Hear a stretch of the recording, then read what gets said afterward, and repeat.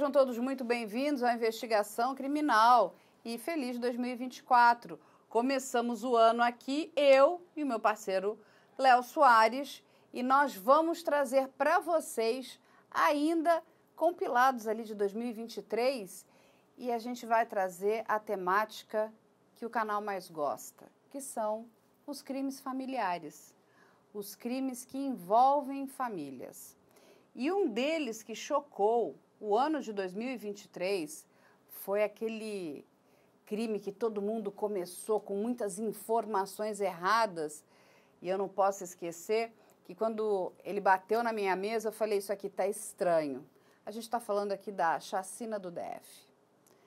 Que tudo começou e aparentava ser um crime passional.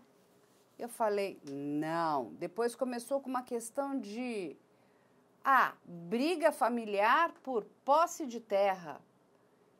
Eu falei, gente, vamos levantar lá o registro de imóveis? Quando a gente levantou o registro de imóveis, nenhuma daquelas pessoas teria direito àquele terreno. Uma grande reviravolta, porque era um outro tipo de crime. E, Léo, antes de eu passar a bola para você, nós gravamos aqui uma live com os nossos especialistas. Vamos ouvir o que eles têm a dizer? A gente vai trazer esse caso, né, que aconteceu em Brasília, ali no Distrito Federal, onde uma família inteira foi exterminada. Esse caso é um tanto quanto estranho. Quatro suspeitos já foram presos. Não sabemos se existem outras pessoas envolvidas nesse crime. São dez pessoas que, de início, foram ditas como desaparecidas e depois mortas, porque todos os corpos foram reconhecidos e realmente eram 10 corpos de pessoas próximas que pertenciam à mesma família. Na verdade, não é a mesma família, o que eu quero dizer com isso? Não é pai, mãe, avô, mas tinha uma proximidade muito grande e uma, alguma relação entre um e outro. Por isso que está sendo considerado... Um núcleo familiar. Exatamente, por isso está sendo considerado 10 pessoas de uma mesma família. E aí, o que, que acontece, gente? É... Quatro pessoas desaparecem no dia 12 de janeiro entre elas uma cabeleireira, Elisamar, e seus três filhos menores. Né? Esses corpos são achados no, no, dia seguinte, no dia 13. O que foi levantado, né, e foi colocado, inclusive pela polícia do Distrito Federal, que a Elisamar sofreu um infarto. Né? E os seus três filhos foram mortos o corpo da Elisamar e dos seus três filhos foram encontrados carbonizados no Clio, no carro dela. Mais para frente, a gente vai ver imagens de um outro carro, que é do Marcos Antônio, o sogro da Elisamar, aonde duas outras pessoas também foram encontradas carbonizadas. Essas imagens que a gente recebeu da Polícia do Distrito Federal são imagens do cativeiro, onde dois carros vão sair e somente um carro vai voltar. Esse carro que é encontrado carbonizado é o carro do Marcos Antônio. E o cativeiro ficava na região de Planaltina, ali no entorno do Distrito Federal. O que é muito interessante é por que todas essas pessoas foram mortas? Por que crianças foram mortas? Não é? O que, que levou esses quatro homens a matar todas essas pessoas? Num primeiro momento, a polícia do Distrito Federal levou em consideração, achou, né, como uma, uma primeira linha de condução de investigação, que o marido da Elisamar, junto com o seu pai, havia encomendado o assassinato dela para que eles pudessem né, receber uma quantia em dinheiro ali, para que eles pudessem ficar com o dinheiro da Elisamar. A gente não tem informações com que de fato o Tiago trabalhava e qual era o seu sustento, mas ele era marido da Elisamar e estava presente no dia do assassinato de acordo com a investigação. Inclusive, eles tinham uma diferença de idade, acho que de 9 anos, 9 não é anos. Isso? Elisamar, 39 anos, Tiago, 30. Certo. E o sogro da Elisamar? Assim, eu pergunto, a polícia conseguiu levantar alguma informação? Eles tinham alguma animosidade? Ou eles viviam bem? Porque pelo tudo que indica aqui, eles já estavam casados e juntos há algum tempo, correto? Correto. E no começo da investigação, até levantou-se a hipótese de que o Marcos teria discutido, desculpa, o Tiago teria discutido com a, a sua esposa Elisamar, e aí depois há um encontro com o pai do Tiago, que é o Marcos Antônio. Só que eles não tinham nenhuma animosidade, não teria por que fazer tudo isso de acordo com as investigações. O fato é, a principal motivação é uma disputa por terra. No início da investigação, levantou-se a hipótese de que realmente havia acontecido a venda de um apartamento, a venda de uma casa, e esse teria sido o motivo do crime arquitetado pelo Tiago e pelo Marcos Antônio. Mas como os dois também foram mortos, essa é, hipótese caiu por terra, de acordo com a polícia. Aqui eu, eu entendo e vejo uma assinatura de muito ódio, porque quando você é, chega na crueldade de matar e carbonizar os corpos de três crianças, é, não é um, um crime qualquer, né? Não é só, ah, eu vou roubar e, e acabei matando, né? Não, eu matei e carbonizei. Esse, esse crime, no primeiro momento, me lembrou muito o caso da família Gonçalves, aqui no ABC em São Paulo, aonde a filha e a namorada, né, do casal, né, da família Romoyuki, resolvem planejar ali, né, um assalto para roubar um cofre e lá na frente a gente acaba descobrindo que não era um simples assalto. Eles queriam mais, né? As duas queriam mais, né? As duas queriam de fato se livrar do pai, da mãe e do irmão. Ou seja, tem ali uma assinatura bastante clara de que ali existe ódio. Não é um simples latrocínio ou um roubo que deu errado, algo assim. Aqui, quando a gente vê esse caso, a mesma coisa. Essa mulher tinha um terreno, ok. Aí o marido e o sogro queriam ficar com o dinheiro do terreno. Mas o que os acusados informam à polícia que eles foram contratados no valor aí de 100 mil reais, né? Que o Tiago pagaria para ele 100 mil reais, que é inclusive acho que mais do que o valor do terreno, correto? Correto. Primeiro teria um valor de 100 mil reais e depois uma outra quantia que eles receberiam também. E aí é aquele fato que a gente tem que levantar, Carla. Por que matar as crianças? E outra coisa, a ex-mulher do Marcos Antônio também foi morta junto com a filha, de 19 anos. Então a gente tem aí é, um, realmente um mistério, foi até por isso que a gente escolheu o nome para o nosso caso de hoje, porque várias perguntas são levantadas que ainda não têm respostas. Essa busca por essa resposta, na, no meu ponto de vista, muitas vezes leva uma precipitação de todos os lados, né? Muitas vezes das autoridades policiais, muitas vezes da imprensa, porque tudo começa a ficar muito simplificado. A gente aqui também já discutiu muitas vezes que uma história quando ela começa a ter muitos desdobramentos, ela começa a ser mais uma ficção do que uma realidade. Porque na grande maioria das vezes a coisa está tão na nossa cara e a gente não quer enxergar. Mas o que, que né, a investigação está trazendo nesse primeiro momento? É que o marido e o sogro contrataram essas pessoas para né, fazer esse roubo, né, para roubarem esse dinheiro da Elisamar. Primeiro são encontrados quatro corpos carbonizados dentro do Clio da Elisamar. Nesse carro estava a Elisamar e seus três filhos, todos eles menores de idade, crianças mesmo. Depois disso, acontece o desaparecimento da Cláudia Regina e Ana Beatriz. A Cláudia, ela é ex-mulher do Marcos Antônio e a, e a Ana Beatriz, ela é filha da Cláudia. Ou seja, ela é irmã do Tiago. Na verdade, não. Porque, é, seria uma... Seria uma...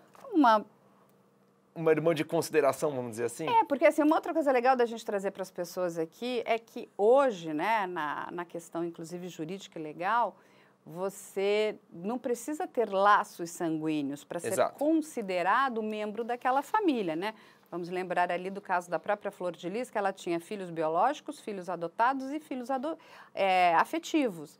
Então, essa ligação, mesmo que ela não seja do mesmo pai e da mesma mãe, ela é uma irmã com laços afetivos a esse rapaz, esse homem, esse Tiago, correto? Correto, Carla. Então eles tinham laços afetivos, a Ana Beatriz e o Tiago. E são, são esses dois corpos que depois são encontrados no carro do Marcos Antônio, que é inclusive o carro que a gente vê nas imagens na madrugada do dia 14. Ou seja, mãe e filha. Mãe e filha. Aí a gente soma seis corpos, tá? É, de início, a polícia ela encontra os corpos carbonizados, mas os corpos não são identificados. Aí vai no decorrer da investigação, realmente os corpos são identificados e são das pessoas que a polícia já achava que seriam de fato, tá? O sétimo corpo encontrado é o do próprio Marcos Antônio dentro de um cativeiro em Planaltina. Então a polícia encontra esse cativeiro depois de prender três suspeitos e encontra o corpo de Marcos Antônio. Esse é o sétimo corpo. Os outros três corpos do Tiago, da Gabriele e da Renata são encontrados dentro de uma cisterna em uma casa abandonada que fica aproximadamente 5 quilômetros do cativeiro. Ou seja, esses suspeitos eles utilizam o cativeiro para praticar os crimes, inclusive é lá que ficam a Gabriele e a Renata, só para a gente identificar aqui. E aí, só interrompendo um pouquinho você, quem é Gabriele e quem é Renata? Exatamente. Vamos identificar essas pessoas, né, para que o público entenda. Exatamente. A Gabriela ela é irmã do Tiago, cunhada de Elisamar, tá. tá? E a Renata, ela é esposa do Marcos Antônio. Ou seja, é a segunda esposa, Exatamente. seria a esposa atual. Exatamente. Esposa atual e mãe do Tiago, que é marido da Elisamar, tá? Então, os, os últimos três corpos encontrados são o dessas três pessoas em uma cisterna, numa casa abandonada próxima ao cativeiro. Então, os suspeitos, eles utilizam o cativeiro para pegar a Renata e a Gabriele, que inclusive são os corpos encontrados dentro do carro, e os últimos três corpos encontrados numa cisterna próxima. Aí, para que as pessoas entendam, a gente vai soltar aqui um mapa, porque são três locais diferentes. A gente está falando de Planaltina, Cristalina e Unai.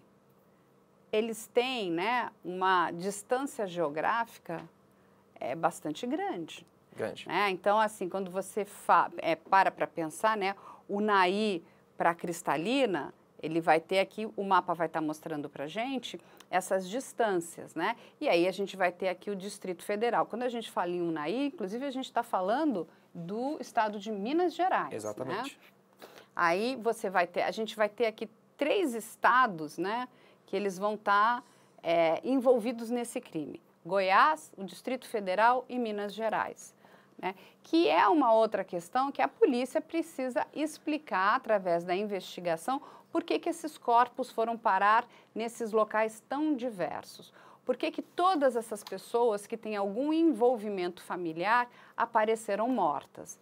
É, de novo, para mim, que tenho muita experiência nessa área de jornalismo investigativo, é, me leva a crer que tem algo que ainda não foi esclarecido.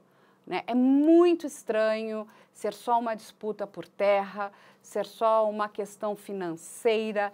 Tem algo a mais, tem alguma coisa estranha que eu acho, que eu acredito que no decorrer da investigação essa informação vai acabar aparecendo. Porque os quatro homens que foram identificados como os supostos, né, criminosos, né, as pessoas que estão envolvidas nesse crime, também são estranhas, né? Porque, assim, de novo, né, a, a imprensa ela se apaixona por alguns termos, né, por algumas questões. Um deles, que é o último que foi é, encontrado, que é o tal do Carloman, é, tudo indica que ele tem uma ligação com uma organização criminosa. É, foi encontrado o, as digitais dele na cena do crime e em um dos carros. Muito bem. Eu conversei com vários advogados de defesa, advogados criminalistas é, e advogados, inclusive, é, que defendem né, membros de organização criminosa, e eles me explicaram o seguinte, que a, a própria organização criminosa ela tem um estatuto E dentro desse estatuto não é permitido matar criança. Não é, não é dentro do estatuto que essas organizações criam, a gente não vai entrar no mérito se a gente aceita, acha bom ou acha ruim. Eu só estou trazendo a informação para vocês. É, esse estatuto tem normas e os integrantes dessas organizações precisam respeitar as normas impostas por esse, por essas determinadas facções. Esses quatro homens, o Gideon, o Horácio, o Fabrício e o Carloman, em algum momento, e alguns deles tinham relação com alguns membros daquela família, correto? Exatamente, Carla. E essa é uma hipótese que realmente pode ser afirmada no decorrer das investigações. Por quê? Porque o Marcos Antônio, mais uma vez, sogro da Elisamar, ele conhece o Gideon no complexo da Papuda, porque ele também já foi preso. Então eles se conhecem na prisão e ficam no mesmo pátio dessa prisão. Aqui não, não temos informações do porquê o Marcos Antônio foi preso e nem quando foi preso, mas ele conhece o Gideon na prisão. E assim que eles saem da prisão, eles se tornam colegas. Inclusive, é, eles moram né, no mesmo lote de um, de um condomínio em Itapuã. Tá? Então, eles estão muito próximos. Inclusive, o Gideon tem acesso total a família do Marcos, a residência do Marcos já trabalhou para o Marcos em uma agropecuária. Ou seja, aí a gente consegue ter a informação de que o Marcos também trabalha com a agropecuária. Eles tinham ligação. Tinham ligação, eles eram colegas. Inclusive, de acordo com as investigações, a única ligação dos suspeitos com o Marcos é através do Gideon. E após todas as oitivas, depoimentos, a polícia já está afirmando que o mandante do crime é o Gideon. Já conhece a loja do canal Operação Policial? O único lugar onde você encontra os produtos oficiais com as marcas das nossas séries. Temos canecas, cadernos de diferentes tipos e tamanhos, canetas e muito mais. Não vai esperar para começar a sua coleção, vai? Quando a gente fala dessas quatro pessoas, nós recebemos aqui informações da Polícia do Distrito Federal que diz o seguinte: o Gideon foi a pessoa que colocou fogo nos carros e possivelmente seja o mandante desses crimes. Exatamente. Inclusive, quando a polícia prende o Gideon, ele está com o rosto queimado e parte do braço também queimado, o que levantou ainda mais suspeitas de que ele tenha participado de fato da carbonização dos corpos. Aí nós temos o Horácio. O Horácio jogou os corpos na cisterna. Essa foi a função do Horácio. Aí nós temos o Fabrício. Fabrício ele cuidava do cativeiro, inclusive ele era a pessoa responsável pelos banhos, pela alimentação daquelas pessoas. Nós ainda não sabemos qual é a função desse Carloman e se de fato ele tem alguma função ativa ali. O que sabemos é que digitais dele foram encontradas né, no carro e no cativeiro. Agora, eu te pergunto, quem matou? Exatamente. Esse é o questionamento que fica. Quem de fato matou? A gente tem. Quem executou, né? A gente, a gente tem um depoimento muito importante que é o do garoto que foi detido por auto infracional, um garoto de 17 anos, que ele diz que foi contratado pelo Horácio para fazer uma simples mudança, tá? Ele não sabia que ele estava sendo envolvido num crime. E quando ele, e realmente a mudança aconteceu, tá, Carlos? Eles levam alguns móveis pro local do cativeiro que fica em Planaltina. E quando ele chegou nesse local, ele nem sabia que era um cativeiro, disse ele à polícia que ele ouviu duas mulheres conversando e que o Horácio estava cavando covas. E quando ele soube disso, ele fugiu do local. Tá? Então, esse é o depoimento do garoto de 17 anos, que a polícia conseguiu chegar atrás, provavelmente por conta do depoimento do Horácio e do Fabrício, que sim, falaram bastante coisa, enquanto o Gideon ficou calado perante a polícia. Então, assim, é, tudo está muito estranho. Né? Aquilo que às vezes parece, não, quatro homens resolvem aniquilar uma família, porque é isso que eles fizeram, eles aniquilaram uma família, né? E a gente já tem um quinto suspeito preso também. Ah, então, exatamente. E aí, o que, por quê? Por causa de dinheiro? Aí, no primeiro momento, o marido e o sogro estariam envolvidos, porque queriam matar a esposa para poder ficar com o dinheiro de um imóvel que ela havia vendido, para poder ficar com o dinheiro que está na conta dela. Mas essa é a mulher que de verdade traz o dinheiro para dentro de casa. Ou seja, o sustento da família. Você vai matar essa pessoa? Entende? Aí a informação que a gente tem é que quando eles dizem que aquilo tudo era um assalto, né? Um, ela tem um infarto. É, tem uma outra informação que dizem que eles não esperavam que as crianças estariam com ela, as três crianças. Ou seja, é uma atrapalhada do começo ao fim. E tem mais, não para por aí. Conta mais. Não para por aí. Olha só, no meio disso tudo, né, uhum. a gente tem ainda algumas informações que são práticas comuns em sequestros. O que eu quero dizer com isso? No cativeiro, de acordo com a polícia, as pessoas sequestradas, vamos chamar aqui, eram obrigadas a passar senhas de aplicativos, senhas de bancos e outras informações que dessem acesso ao dinheiro para os assassinos, né? para os possíveis assassinos suspeitos, porque ainda não foram condenados. Então, olha só, a gente tem mais uma informação. Inclusive, na casa do Gideon, quando a polícia o prende, ela encontra 14 mil reais em dinheiro. É isso mesmo, 14 mil reais em espécie. Já na conta do Fabrício, encontra 40 mil reais. Os investigadores acreditam que esse seja um dinheiro das vítimas. Não, gente, isso é hoje é muito fácil de ser rastreado, né? Porque eu, é, tudo que acontece no universo digital é rastreável. Né? Então, você achar que você vai tirar um dinheiro de uma conta, colocar na sua conta, na conta de terceiro, e vai ficar por isso mesmo, ninguém vai descobrir, lê do engano. Você será descoberto. E quando você fala de dinheiro, cara, me vem mais uma informação importante que tem que ser levantada. Todos os suspeitos presos moram, ou moravam, né, próximo ao Marcos Antônio. Ou seja, eles provavelmente tinham alguma informação de que a família tinha recebido alguma quantia em dinheiro. Por isso que a principal tese que a polícia levanta, tirando ser um crime de ódio, é realmente a motivação por dinheiro é muito fútil, né? Eu vou pedir o organograma para a gente poder entender quem são essas pessoas e quem são os acusados, né? Então aqui, olha, a gente aqui para vocês entenderem, a gente fez até aqui uma uma, uma, criou uma cor, né, que são as relações, né? Então a relação profissional é o azul, a vermelha é a relação familiar e a amarela é a relação com o ex-casal. Aqui nós temos a Cláudia, que é a ex-mulher do Marcos Antônio. Ela foi morta. Encontrada tá? na cisterna. Exatamente. Aí nós temos aqui o Marcos Antônio Lopes de Oliveira, de 54 anos, que é o pai do Tiago, que no primeiro momento foi colocado como um dos mandantes desse crime horroroso. Depois é encontrado morto no cativeiro. Exatamente. Que estava casado com a Renata Juliane Belchior, de 52 anos ela é mãe do Tiago. Tá? Então, a mãe do Tiago é a Renata e não a Cláudia. Exatamente, um dos corpos carbonizados encontrados dentro do carro do Marcos Antônio, aquele Fiat Siena que a gente vê saindo dia, na madrugada do dia 14 daquele local. E aí vamos mais para frente aí. Aí vamos ter aqui, olha.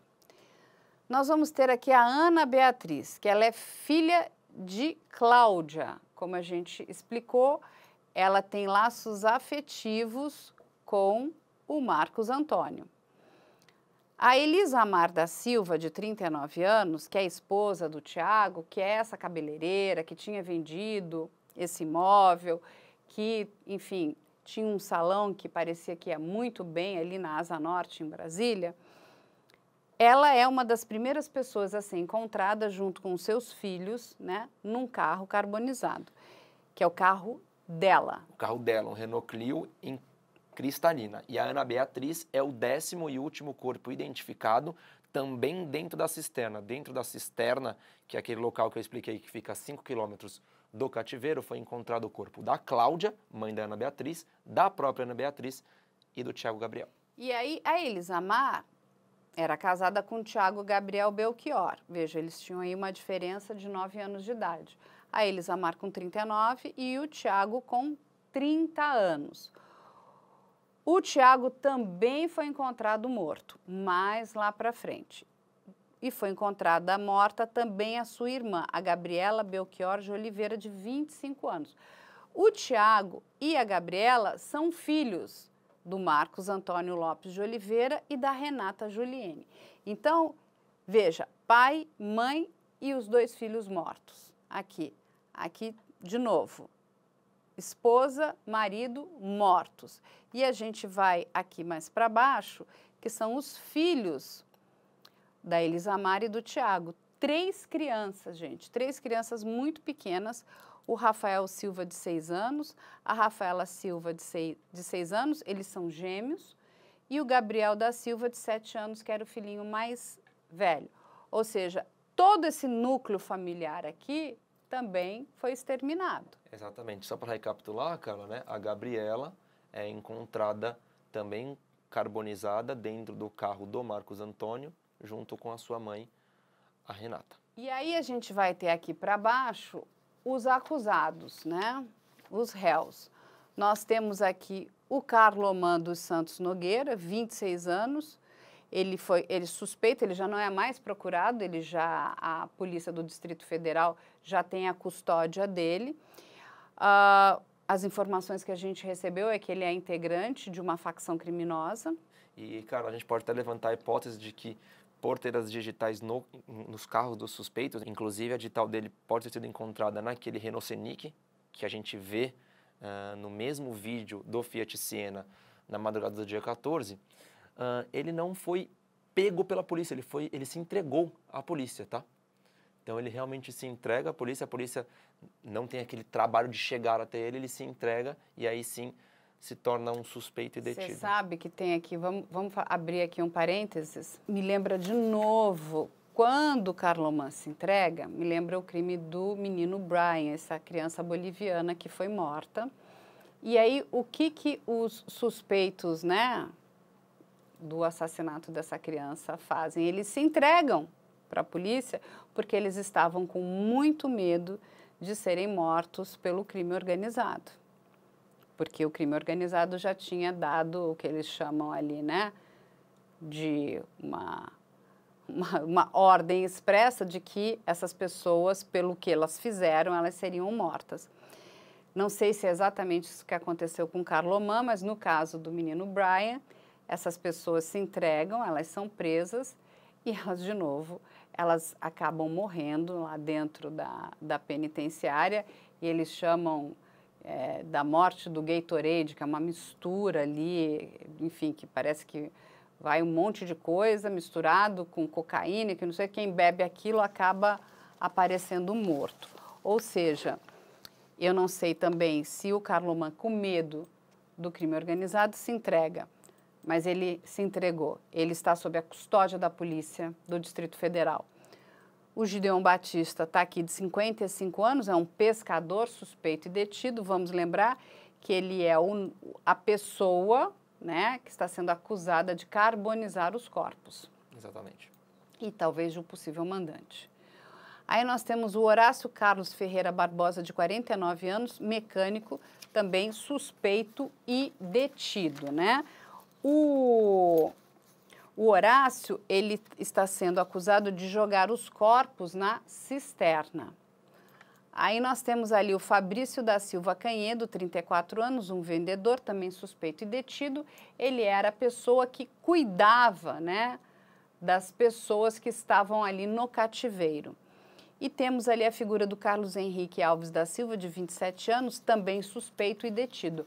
O Carlos Henrique fazia o quê, Léo? Nós não temos informações ainda, justamente por conta do andar da, da, das investigações, está sendo atualizada diariamente. E até hoje, o dia do nosso vídeo, a informação é que ele foi preso, né, no dia de hoje mesmo, já tem várias passagens pela polícia. Ele tentou fugir pelo telhado do condomínio onde ele estava, porque a polícia realmente foi atrás dele, ele tentou fugir, não conseguiu. E ele foi autuado por associação criminosa, extorsão mediante sequestro, ocultação e destruição de cadáver e corrupção de menores. Inclusive, Carla, é, a polícia diz que já tem todos os caminhos, todas as provas necessárias para finalizar o inquérito e aí sim o Ministério Público oferecer a denúncia. Muito bem. O Fabrício da Silva, a gente sabe se tem passagem pela polícia? Não sabemos se tem passagem pela polícia. É, o já, Horácio, sim. O Horácio tem passagem pela polícia e o Gideon também, inclusive o Gideon conheceu, como a gente já falou, o próprio Marcos Antônio no complexo da Papuda. E o Carloman está envolvido aí nessa operação, a operação Prólogo, né? Que a gente acabou de explicar aqui para vocês. Exatamente, ele foi investigado em 2018 e, inclusive, é, eu não sei se tem alguma ligação, né? Mas aqui a gente está conjecturando um cenário na época dessa operação, dessa operação Prólogo em 2018, a polícia expediu 13 mandatos de prisão preventiva que foram cumpridos aonde? No complexo da Papuda, que é o mesmo local onde o Marcos Antônio conheceu o Gideon. Então fica aquela pergunta: será que o Marcos Antônio também já teve algum acesso ao Carloman? Será que eles já conheciam Horácio, Fabrício, Carlos Henrique? Será que já viram o Marcos Antônio em algum momento? Moravam próximos da Sim. própria casa do Marcos Antônio lá em Planaltina. Será que já se conheciam? Que crime é esse? Porque não é um crime qualquer. É um crime grande, é um crime que chocou não só a região ali do Distrito Federal, mas chocou a, o país inteiro, né? Exatamente. E cada hora chega mais uma informação.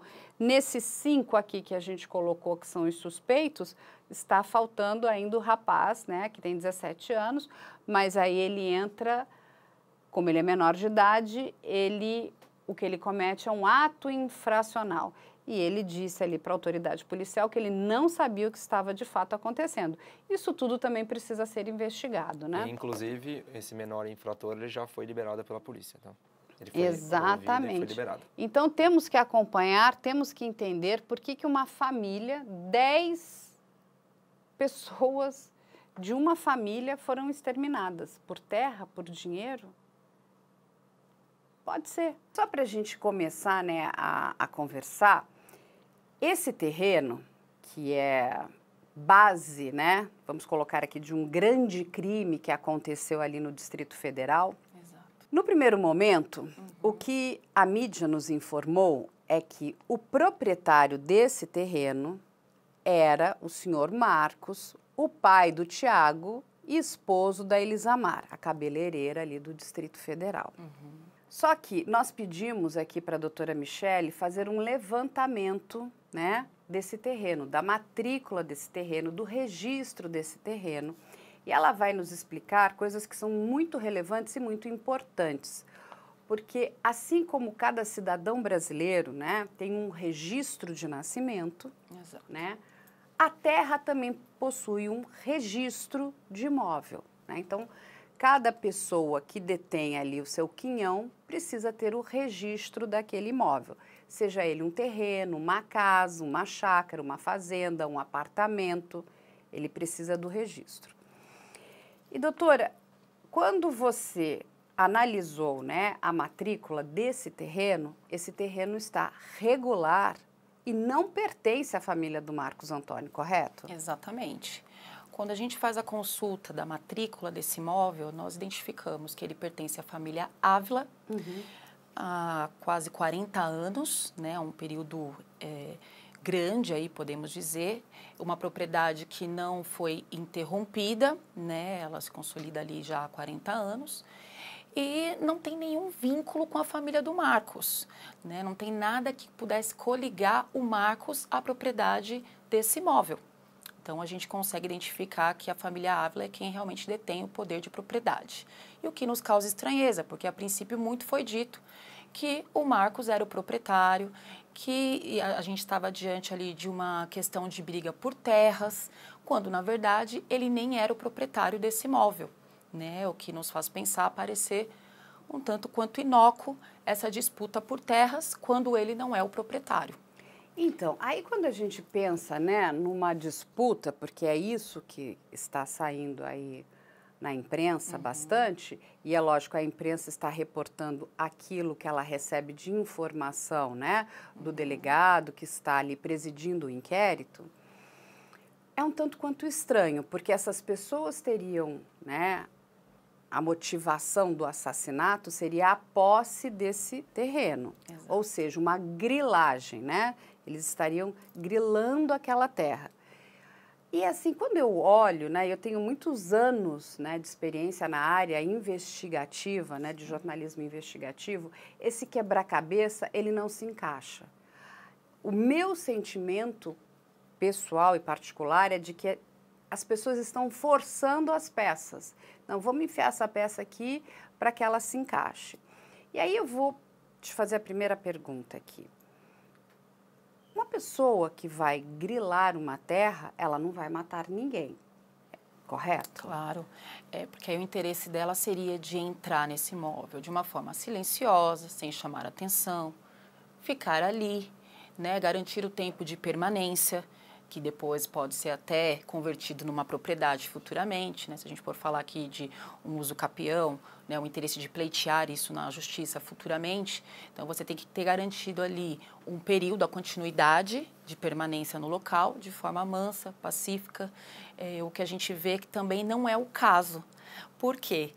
É, a gente já tem informações de que a família né, real proprietária, a família Ávila, ela já se insurgia contra essa, essa posse indevida por parte do Marcos. Ou seja, o que a gente tem certeza nesse cenário, o Marcos ele tinha posse do imóvel de forma irregular, né? ele detinha a posse imediata ali do imóvel, ele não era o proprietário, e a família responsável pela propriedade já começava ali reivindicar os seus direitos de posse.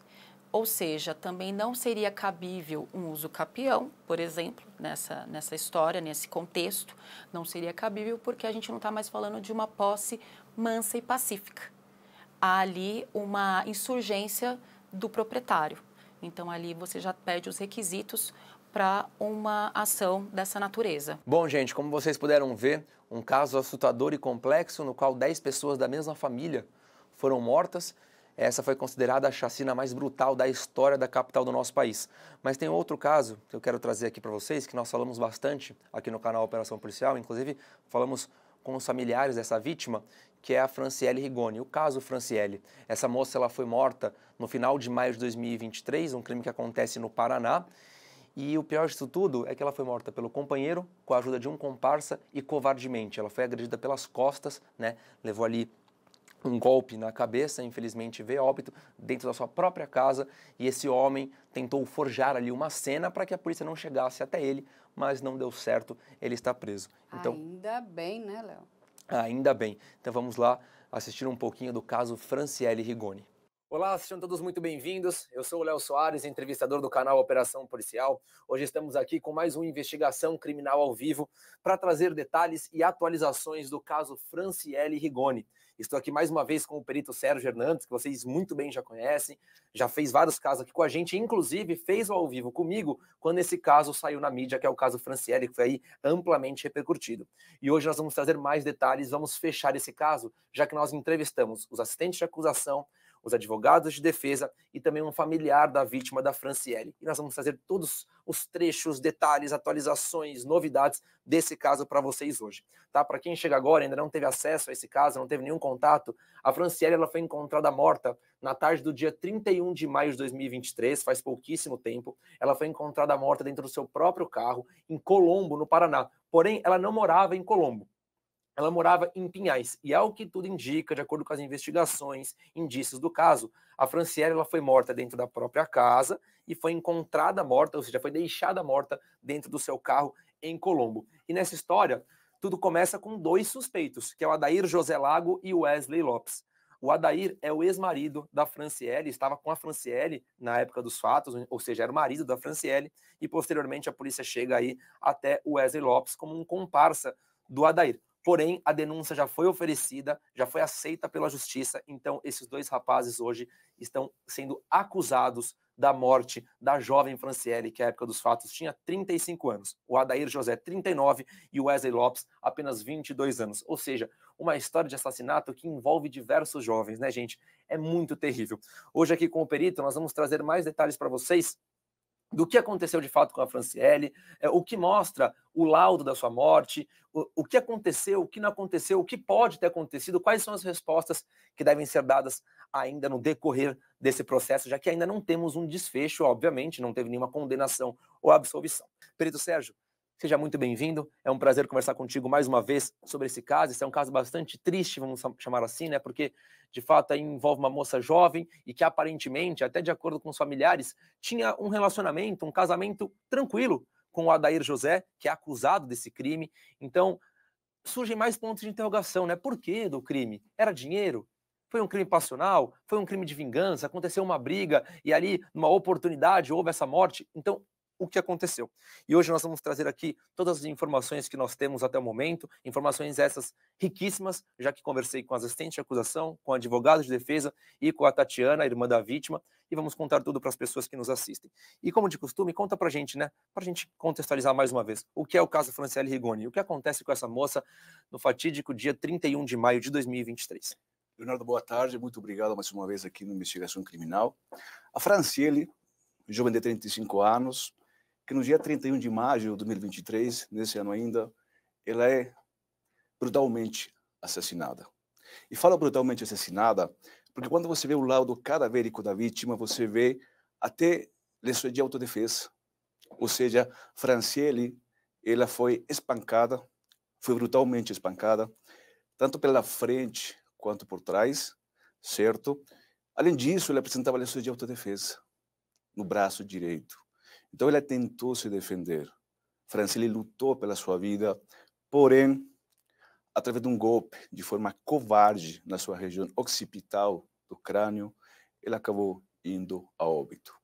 Então, Franciele, ela vai óbito, certo? E as investigações apontam dois suspeitos principais desse homicídio. O esposo dela, Dair, e Wesley. Importante mencionar o seguinte, eh, Leo. Esse caso, para mim, começa muito antes de maio, começa em abril. Em abril, se suscita um evento bastante estranho. Tanto eh, Adair quanto Franciele, eles foram supostamente sequestrados. Né? Ele estava numa festa da família. Adair, que nunca fazia ingesta de bebida alcoólica, naquele dia ele bebeu. A família surpresa falou, mas ele está bebendo?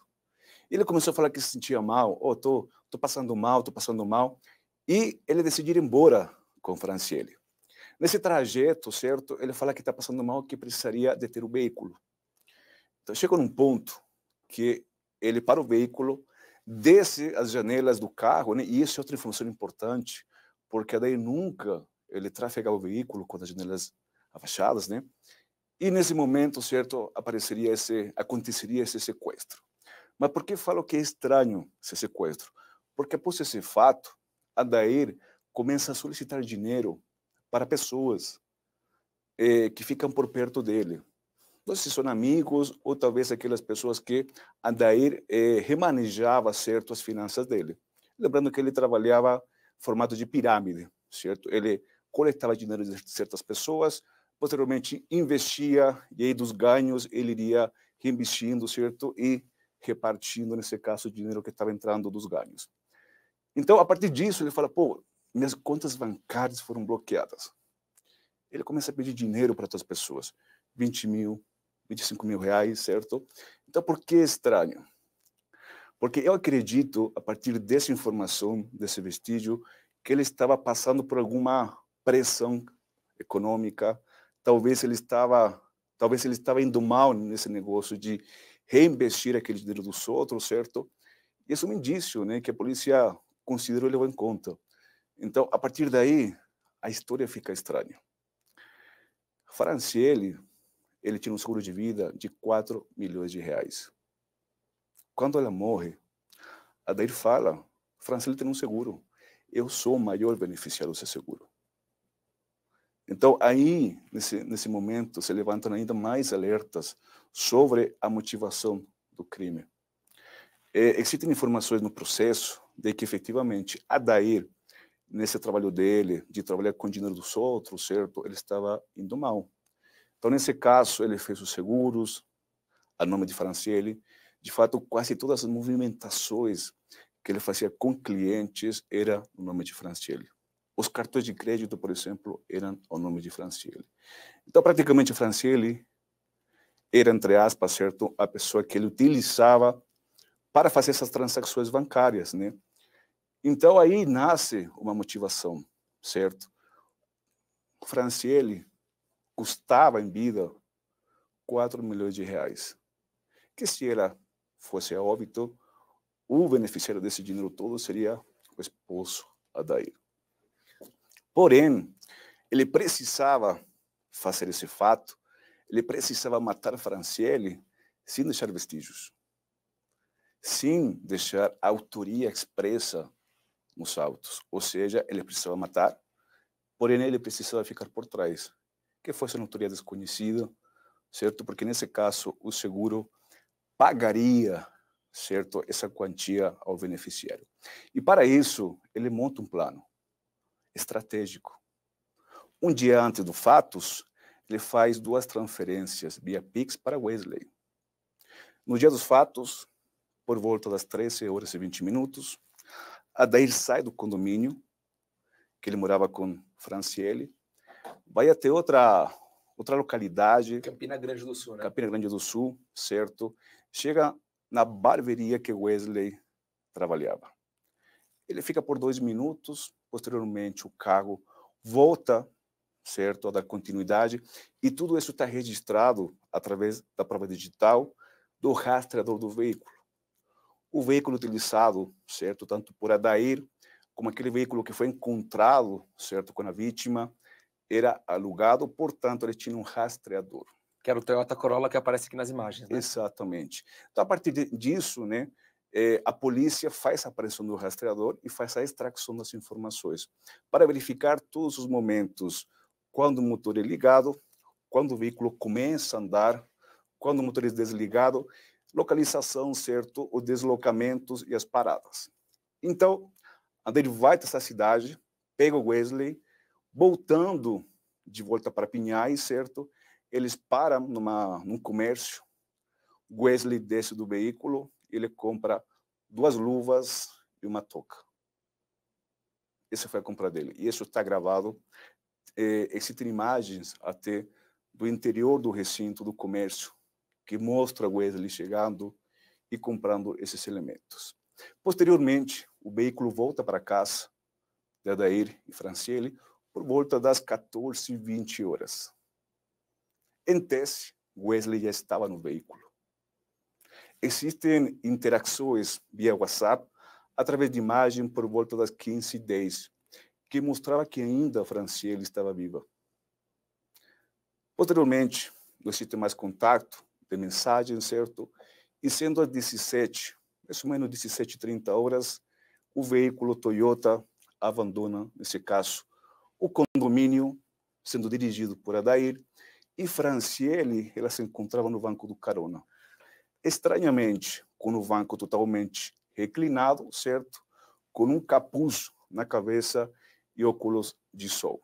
Doutor, como a gente tem bastante informação aqui hoje, já que você me trouxe essa informação, eu vou pedir à produção, por favor, colocar esse vídeo da câmera de segurança, que é o vídeo 1.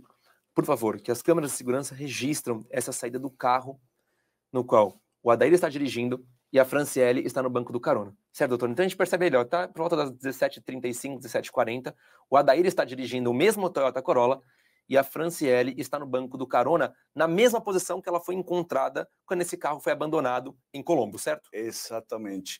Um ponto interessante, Leonardo, que esse carro apresentava em seu filme bem escuro. Então, para ele sair do condomínio, ele teve que se identificar por biometria. Então, como estava já escurecendo, certo? Do momento que ele desceu o vidro, ele deixou, nesse caso, que a câmera pegasse a posição que se encontrava Franciele. Do contrário, talvez a câmera não tivesse pego, se fosse um pouco mais cedo, por exemplo. Então, posteriormente, o veículo sai, Adair relata que Franciele deixa ele na loja é, Leroy Merlin, Leroy Merlin, certo?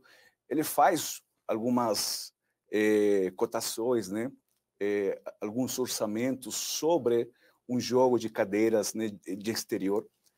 A vendedora fala, que atendeu dele, fala, oh, realmente ele veio aqui, fez orçamentos, porém ele parecia que não estava nem interessado nos, nos elementos. Ele veio, perguntava, mas o interesse dele não era em comprar realmente. Estava forjando o cenário, né? O que ele queria era que eh, aquele orçamento fosse encaminhado por e-mail para ele. Ou seja, um álibi. Ele queria criar uma prova caso é. haja, a, a algo voltasse contra ele. Exatamente. Em dado momento, o veículo, supostamente, que se encontrava Franciele, aparece no rastreador, parado. E ele liga para a polícia. Fala o seguinte, o veículo da minha mulher está parada em Colombo e ela foi, certo, no mercado, iria voltar para me pegar. Porém, o veículo está parado.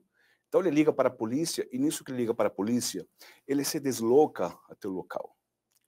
Porém, quando ele chega no local, ele não para para verificar se as portas estavam abertas, fechadas. Segundo a polícia, ele passa, certo? Ele vê o veículo, ele continua percorrido até chegar no, na, na, delegacia ou na polícia militar, porque ele fala que, como não viu que não tinha ninguém, certo? Pelo fato de já ter sido sequestrado, ele achou melhor não descer e ir de forma direta, nesse caso, para a delegacia. Quando a polícia militar chega no local, que encontra o veículo, eles tentam destravar as portas. Eles relatam que o veículo está com esse filme escuro, que a simples vista não dá para ver o que estava acontecendo dentro do veículo, ou pelo menos quem estava no seu interior. Então, com o uso de uma lanterna, a polícia consegue enxergar, nesse caso, a Franciele. A polícia bate no vidro e fala, senhora, você está bem? Não tem resposta. A polícia volta, certo, pelo lado do motorista e consegue abrir a porta.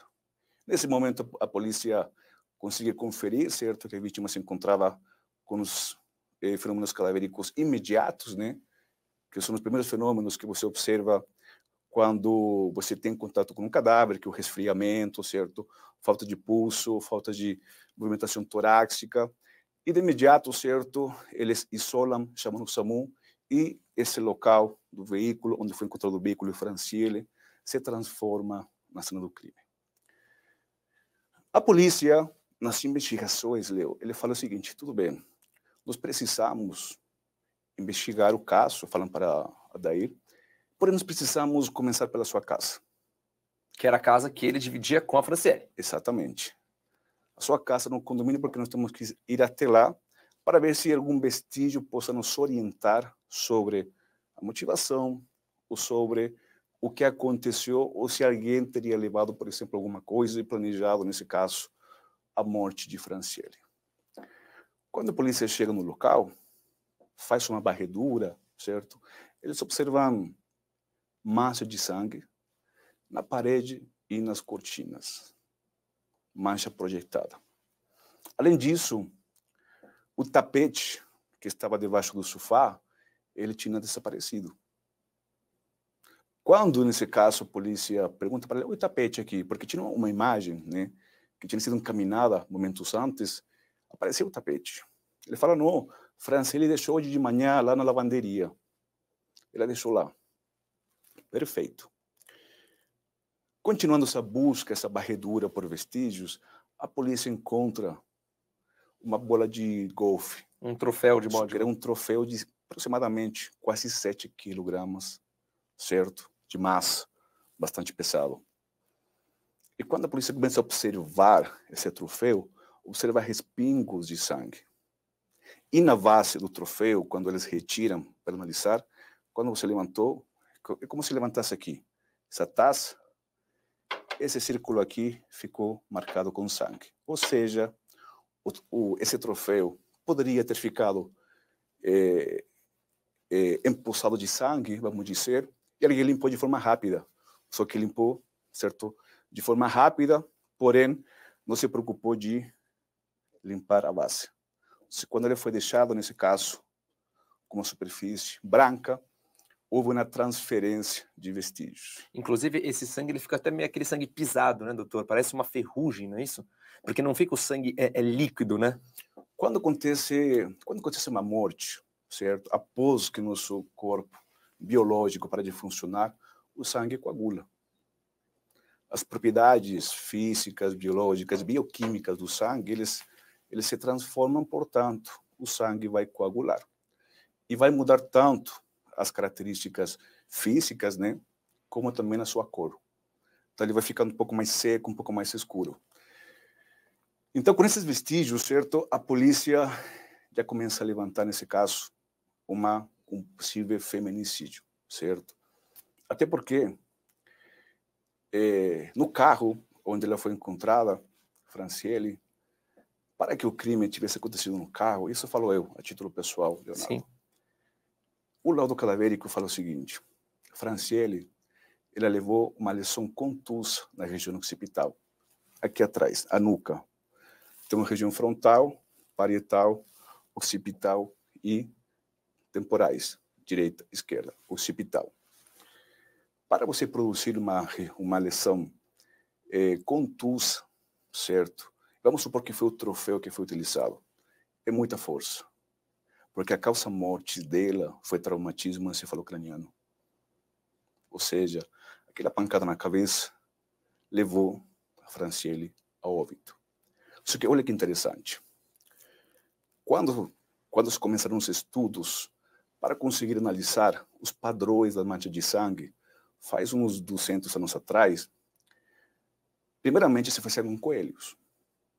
Se colocava um coelho, certo? Só em placas brancas de papel. E o perito ia e batia na cabeça do coelho para ver como que o contato da lesão perfurocontusa iria produzir os respingos, certo? Nas folhas. Atualmente não se faz mais isso. Você pega um molde, certo, de um crânio, você coloca, nesse caso, sangue animal em umas sacolinhas plásticas. Então, quando você efetua um movimento, um mecanismo de uma lesão contundente, você vai aplastar essa sacola e vai produzir a projeção, certo, o mais fehaciente possível, com maior veracidade. Mas quando você vê as fotografias do veículo, pelo menos a olho nu, você não vê sangue projetada, nem no banco, nem no teto, nem nas janelas. Ou seja, aqui a gente pode levar em consideração, então, que na verdade a Franciele foi morta dentro de casa. E depois ela é transportada desse carro limpa. Porque há uma limpeza do cenário, então. Vamos ser mais minuciosos. Não vamos dizer dentro de casa. Por enquanto, vamos dizer que ela não morreu, que ela não foi morta no veículo. Além disso, se ela estava com todo o encosto para trás, certo? Se ela estava totalmente reclinada para trás, em que momento alguém iria ter um espaço no banco traseiro para dar um golpe com essa força na cabeça. Lembrando que a cabeça aqui tem um respaldo. O banco. Seria extremamente difícil uma pessoa por trás dar um golpe com essa magnitude, o ponto de conseguir produzir ou gerar um traumatismo encefalocraniano com fratura craniana. Além disso, Franciele apresentava feridas contusas. Nós temos lesões e feridas. Lesões é quando você não tem solução de continuidade da pele, ou seja, um, uma equimose, hematoma, certo? Que a superfície da pele ela não consegue se rasgar, se abrir. Então fica lesões fechadas, né? Por exemplo, quando você dá um soco, você cria uma uma lesão, você gera uma infiltração hemorrágica, porém não uma ferida. Franciele apresentava na parte frontal dela, apresentava lesões, certo? Feridas contusas na região frontal, nas regiões orbitárias, ela teve fratura de dentes superiores e ela tinha equimoses no pescoço em ambos os lados. Ou seja, pelo menos nós temos uma tentativa de esganadura e nós temos uma vítima que se defendeu. Porque, além disso, o laudo cadavérico aponta que Franciele apresentava lesões do tipo equimoses no braço direito. Quando você é atacado, o que você faz, Leonardo? Você coloca os braços. Agora, se ela tem lesões tanto por trás quanto pela frente, o que nós poderíamos interpretar? Que enquanto ela estava lutando pela sua vida, certo? Brigando com uma pessoa, apareceu outra pessoa por trás com o troféu e deu aquela pancada na cabeça. Se isso for levado em consideração, doutor, a gente pode dizer que nesse caso nós temos dois executores. Poderíamos interpretar. Até porque esse fato dela estar lutando pela sua vida não estava inibindo a sua capacidade de autodefesa. Ela não estava drogada, por exemplo, ela não foi pega de surpresa. O fato dela apresentar lesões corporais no braço e pela frente quer dizer que ela não foi pega de surpresa. Ela reagiu, ela se defendeu, ou seja, enquanto ela lutava, provavelmente o outro indivíduo veio por trás e deu aquela pancada na região occipital. E, doutor, e as facadas na Franciele? O que isso demonstra? O que é interessante, a perícia, certo, de local, fala que ela apresentava nove facadas na região abdominal. Só que posteriormente, o perito médico legista, ele fala, é, realmente, são lesões perfurocontusas, né, que origem, nesse caso, são facas, né, outros elementos perfurocontusos, porém são pós-mortem, Ou seja, essas facadas foram dadas após que ela morreu. Tanto que quando você vê as fotografias dela no veículo, você não vê sangramento das lesões. Por quê? O que é interessante. As lesões por pós-morte, elas têm características que você consegue identificar. Quando você faz um corte em vida, certo? As bordas, elas vão se retrair. Elas vão se retrair e você vai sangrar. Quando você faz um corte pós-morte, você não vai ter reação vital. Então você vai cortar, as bordas não vão se retrair, vai ficar o corte e você não vai ter sangramento. Por que você não vai ter sangramento? O coração parou de funcionar. O coração, o coração parou de, bom, de bombear o sangue para o corpo, para o cérebro, para os braços, para as pernas.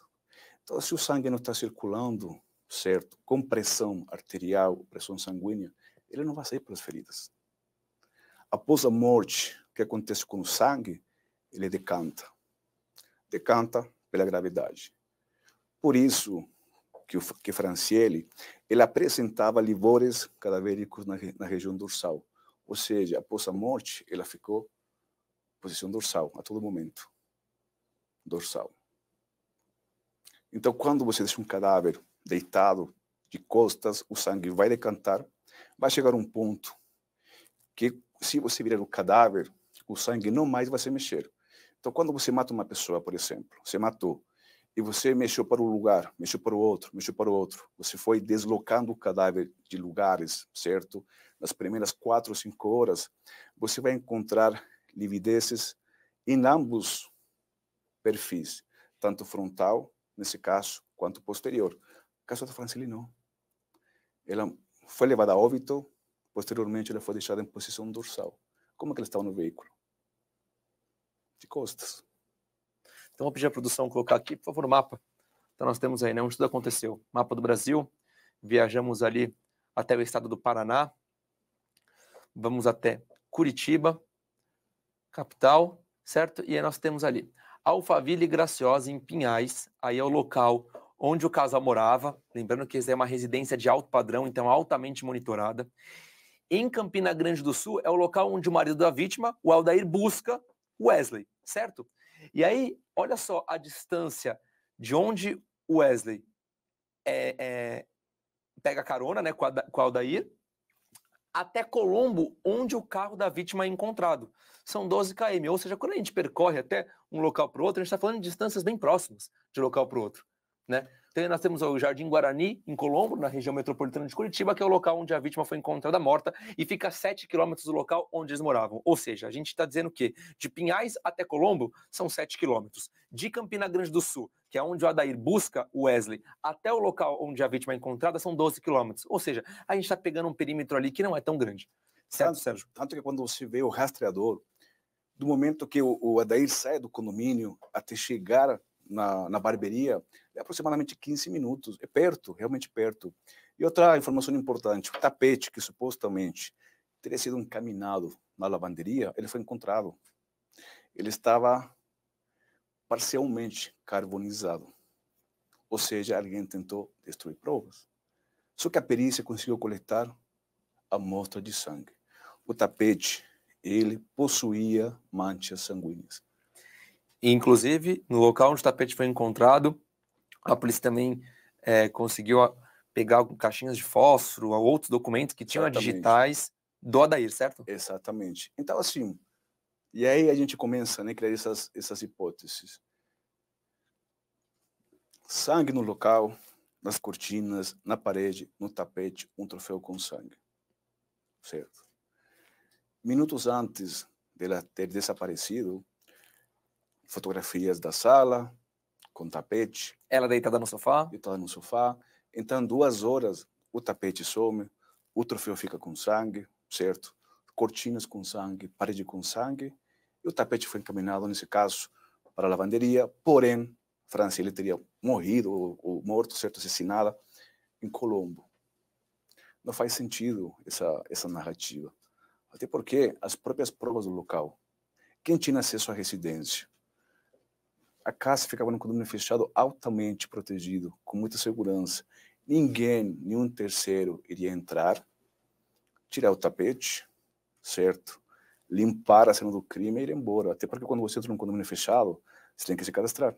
E é um condomínio caro, inclusive. E você entra só se, nesse caso, o morador autorizar. Quem entrou e quem saiu nesse dia, a Daí. Então, qual que, o que levantou a polícia? Que junto, quando a Daí sai e aparece Franciele do lado, no mesmo carro estaria o tapete e no mesmo carro estaria o Wesley. E Sérgio, a gente falou bastante aqui, né, sobre possivelmente esse ter sido um crime de motivação financeira. E eu conversei com a doutora Bárbara Ferracioli e com a Débora Normanton, e elas são as assistentes de acusação do caso, a doutora Débora, excepcional, a Bárbara também, a gente fez uma entrevista muito boa, inclusive, e elas comentaram sobre essa situação financeira do acusado e também trouxeram ali relatos sobre o planejamento do crime. Então, vou pedir, por favor, para a produção colocar o trecho 1, só para a gente ouvir o que elas falam e depois debater aqui um pouquinho. Vamos lá. E essa movimentação começou a ser bastante perceptível pela família nesse período que foi de quase 30 dias entre o sequestro e o feminicídio, porque ele começa a mandar mensagens com desculpas, é, vou usar uma palavra pouco técnica, mas esfarrapadas, para tentar buscar dinheiro do, dos familiares. Então, para uma parente que era agente de turismo, ele dizia: Olha, estou aqui na Disney com a Franciele, nenhum cartão meu está passando porque meu, meu, minha conta foi clonada por causa do Wi-Fi do aeroporto, me empresta 25 mil reais outra pessoa ele falava, ó, oh, estou com problemas desde o sequestro, o banco é, é, bloqueou minhas contas por 10 dias, me empresta mais 20, 25 mil reais. Depois tomamos conhecimento de que ele entrou em contato com a imobiliária da, é, onde a casa deles era alocada e pediu para não pagar aquele mês na data que iria atrasar o aluguel. Então ele estava realmente é, diante de problemas financeiros, e hoje é, não existem dúvidas de que ele é, tentava trabalhar numa espécie de pirâmide financeira. Ele pegava aqui e ali, gastava muito em jogo, perdia muito dinheiro em jogo e estava no momento de absoluto desequilíbrio e desespero financeiro. E daí, voltando no dia da morte, entendeu? Ele, ele faz todo esse cenário, ele vai até a Leroy pensamento de um jogo de cadeira de, de parte externa de piscina e rápido, cinco minutos. A própria é, vendedora é, que o atendeu disse: olha, ele com toda certeza não tinha nenhuma preocupação com o produto, porque ele não olhava para o produto. Ele ficava olhando para trás o tempo todo mexendo no celular, e a única coisa que ele fez muita questão foi de dizer: eu preciso que você me mande esse orçamento por e-mail. Tá? Ele criou o álibi, né? Enquanto ele estava ali na Leroy Merlin, logo depois de sair do condomínio com a Franciele já sem vida, é, ele deu um jeito de ser visto por uma vendedora, de ser realmente atendido, para demonstrar que ele realmente estava lá. Né? enquanto isso, o Wesley estava indo dar a destinação ali para o corpo da Franciele. E existem imagens que já foram divulgadas na imprensa que são bastante interessantes, porque eh, o carro ele é ele deveria ser deixado num determinado ponto. O carro vê que existe alguma câmera, ele aponta para frente, ele para um pouco mais à frente que não tem câmera e segue. Nessa aparece o Adair vindo em direção à loja da Leroy Merlin, feliz feliz. Ele não parece uma pessoa que foi sequestrada, qualquer coisa nesse sentido. Ele está radiante, peito estufado, andando, mexendo no celular, conversando no celular. E essas conversas no celular são convergentes com conversas com os próprios familiares que estavam cobrando ele investimentos que foram feitos. Então, o irmão da vítima, a Franciele, cobrou, o sobrinho, o Eduardo, cobrou, e nesse dia, por coincidência, mais de uma pessoa o teria cobrado. E ele começa a mandar áudios nessa saída do carro, neste horário, falando: não, já vou resolver, negócio de sucesso, toda aquela história estelionatária que ele sempre é, fez com que a família acreditasse por ingenuidade. Ele convenceu, inclusive, a própria esposa que trabalhava que o negócio era tão bem sucedido que ela não precisava trabalhar. Uhum criou uma dependência completa, né? uma dependência econômica financeira completa. A ponto de ela talvez não saber, não poder fazer um pix do celular dela sem pedir Ela não fazia ele, pix. Né? Ela não fazia um pix. Há pouco ela vocês... não tinha. Pode falar, pode falar, doutor. ela não tinha liberdade para fazer uma compra. Ela ia eventualmente num shopping com as amigas e ela não passava o cartão dela, no nome dela, porque todos os cartões se encontravam no nome dela, porque ele fazia a família acreditar que ela seria a gestora, que ela administrava, que ela mandava nele, que ele a tratava muito bem, que ele cuidava dela. Então ele colocou todas as contas no nome dela, mas a família não sabia que ele já tinha outras pendências financeiras que impossibilitavam ele de ter uma empresa no nome dele realmente. E ela não tinha acesso a nenhuma senha. Então tudo que ela fazia, ela precisava pedir para ele. Foram apreendidos dezenas de cartões de crédito na, na residência quando foi feita a busca e apreensão policial, é, todos em nome, né, grande maioria em nome dela, e, e ela não, muito provavelmente nem sabia da existência desses, desses cartões todos que o Adair utilizava.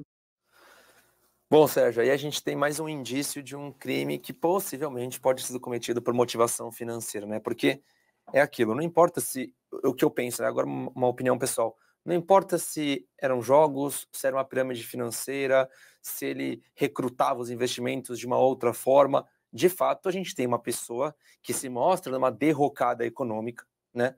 Que ele está numa situação de extrema fragilidade e ele precisa sair daquela situação, porque a fragilidade econômica dele envolve outras pessoas que estão cobrando, certo? Então ele precisa dar um jeito nessa situação. E o que ele faz?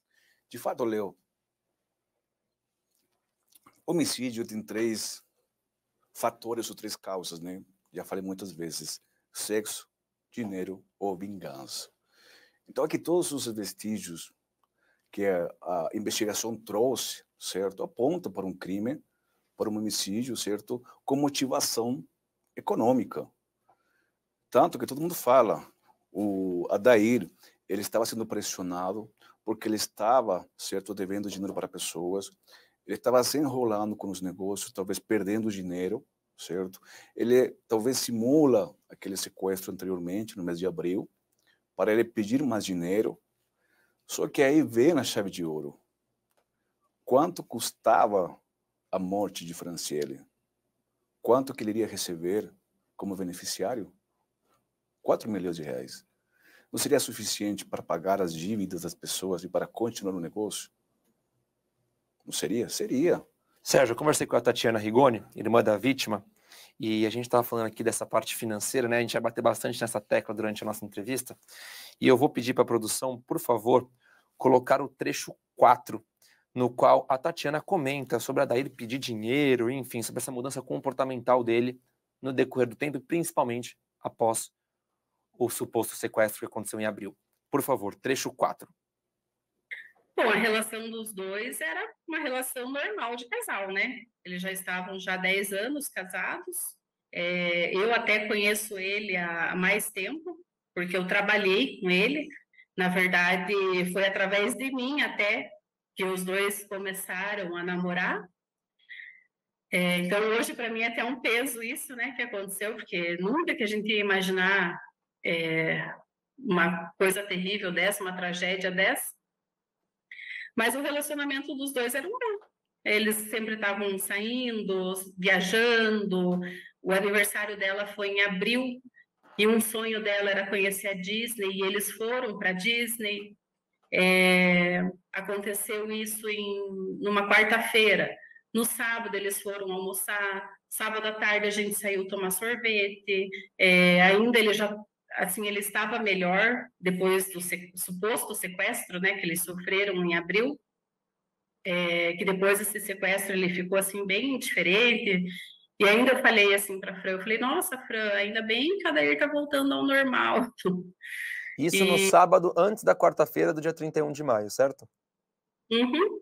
Então, assim, é, ele nunca foi uma pessoa violenta, grosseira, é, eles tinham dois cachorrinhos, é, com a gente sempre, assim, ele enganou a família inteira, né? Porque a gente confiava nele, assim, de olhos fechados, assim, a gente confiou nele, né? Confiava que ele era um bom administrador, que ele era um bom contador, que ele era um bom marido, que ele cuidava dela, que ele fez ela sair da empresa onde ela trabalhava, é, foram, né, alugaram lá uma, uma casa num condomínio que daria uma segurança para Fran, porque ele ficava uma semana em Curitiba e uma semana em São Paulo. Então, ele falava, não, mas é que tem que ser um condomínio fechado, um condomínio seguro, porque a Fran fica uma semana sozinha em casa. Então, assim, ele articulou tudo que ele era cuidadoso com ela, né? E só que a gente hoje a gente vê que era uma estratégia, né? Essa pirâmide financeira, os investimentos, seja lá o que for que o Adair está fazendo em relação à sua vida financeira, estava dando certo até o começo de 2023. Uhum.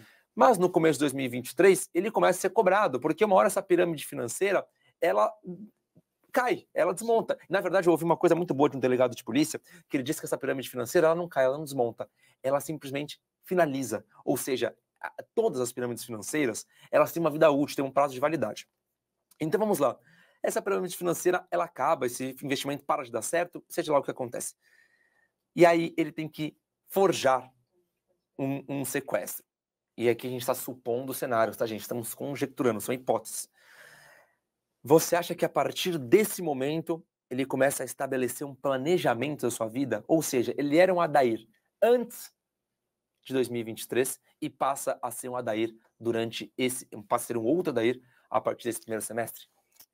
Leonardo, eu acho, eu acredito que a prova digital dos celulares, do e-mail dele, por exemplo, a extração de informações de conversas, né, de aplicativos, Instagram, WhatsApp, vai trazer a resposta. Porque vai ser que ele estava sendo ameaçado de morte por várias pessoas, né? Eh, nós não sabemos até que ponto ele estava, por exemplo, administrando o dinheiro de outras pessoas, até que ponto essa pirâmide era grande. Nós não sabemos com quem ele estava mexendo, por exemplo. Então, é, é possível né, que a partir, por exemplo, dele começar a ser ameaçado de morte, ele estar sem dinheiro, cada vez mais enrolado, né? Ele privilegiou, nesse caso, a vida dele por sobre a vida da esposa dele, da Franciele. Então, eu, eu falei anteriormente, de forma fria, homicídio, nós temos três causas, dinheiro, sexo e vingança. Se ele foi ameaçado no ponto, ele falou, pronto, qual que é a minha via de escape?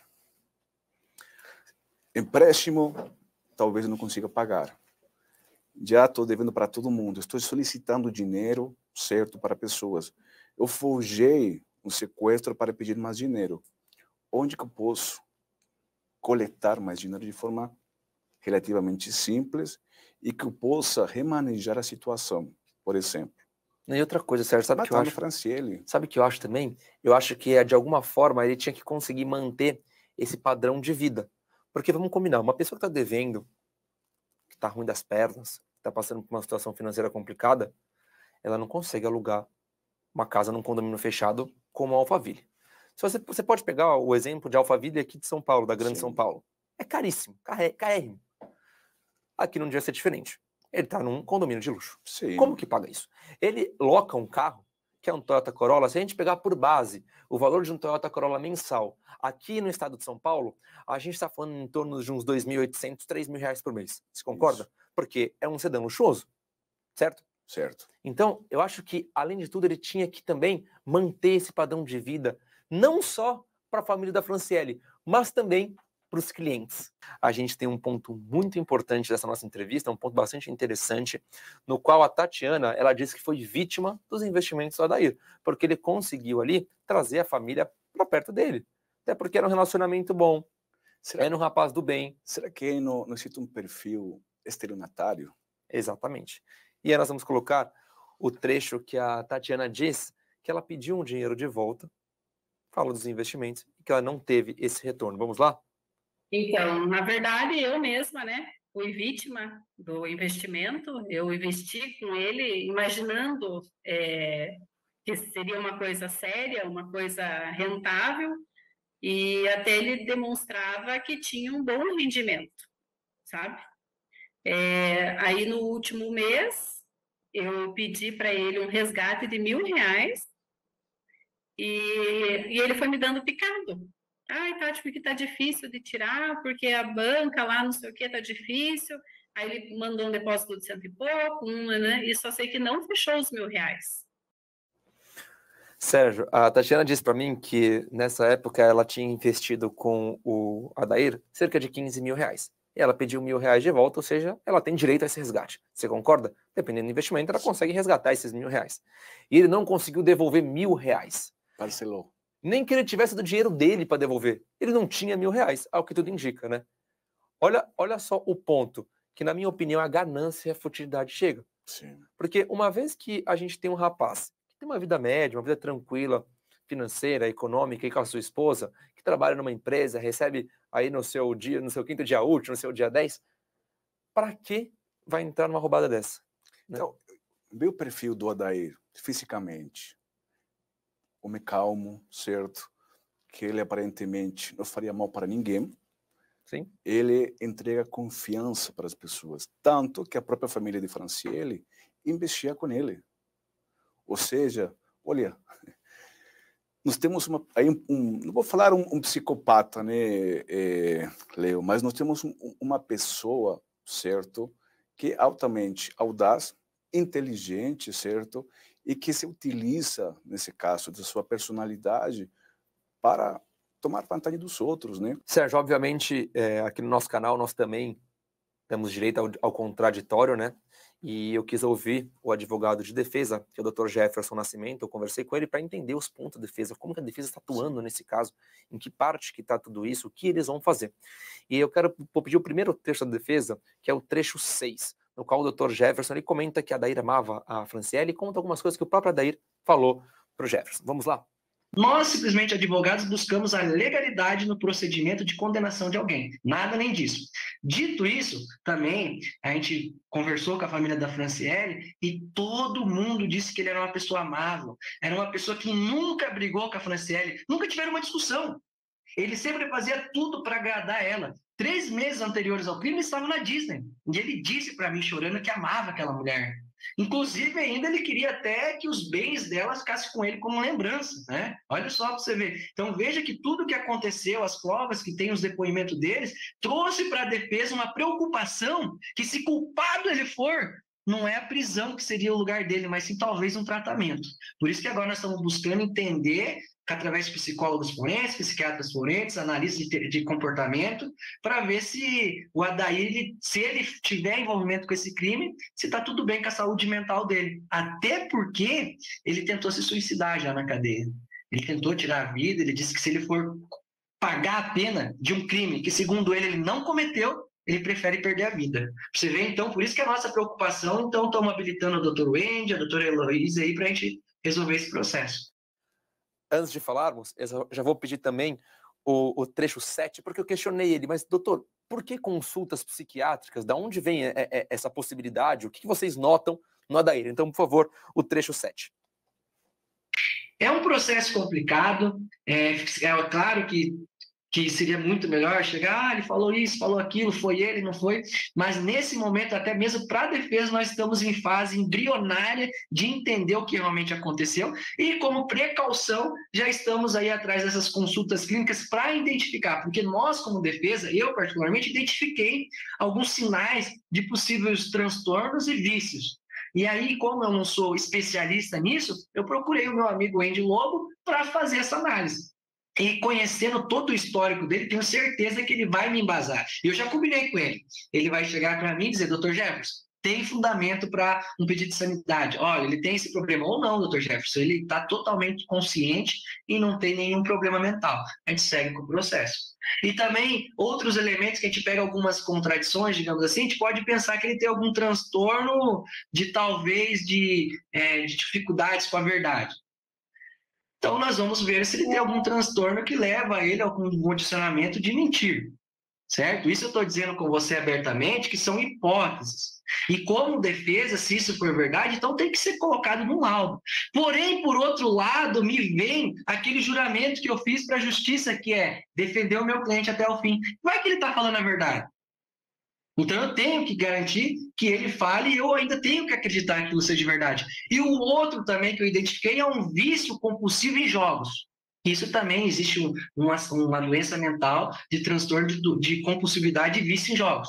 Que tudo isso daí o Eng vai ter que identificar e me explicar até melhor como funciona.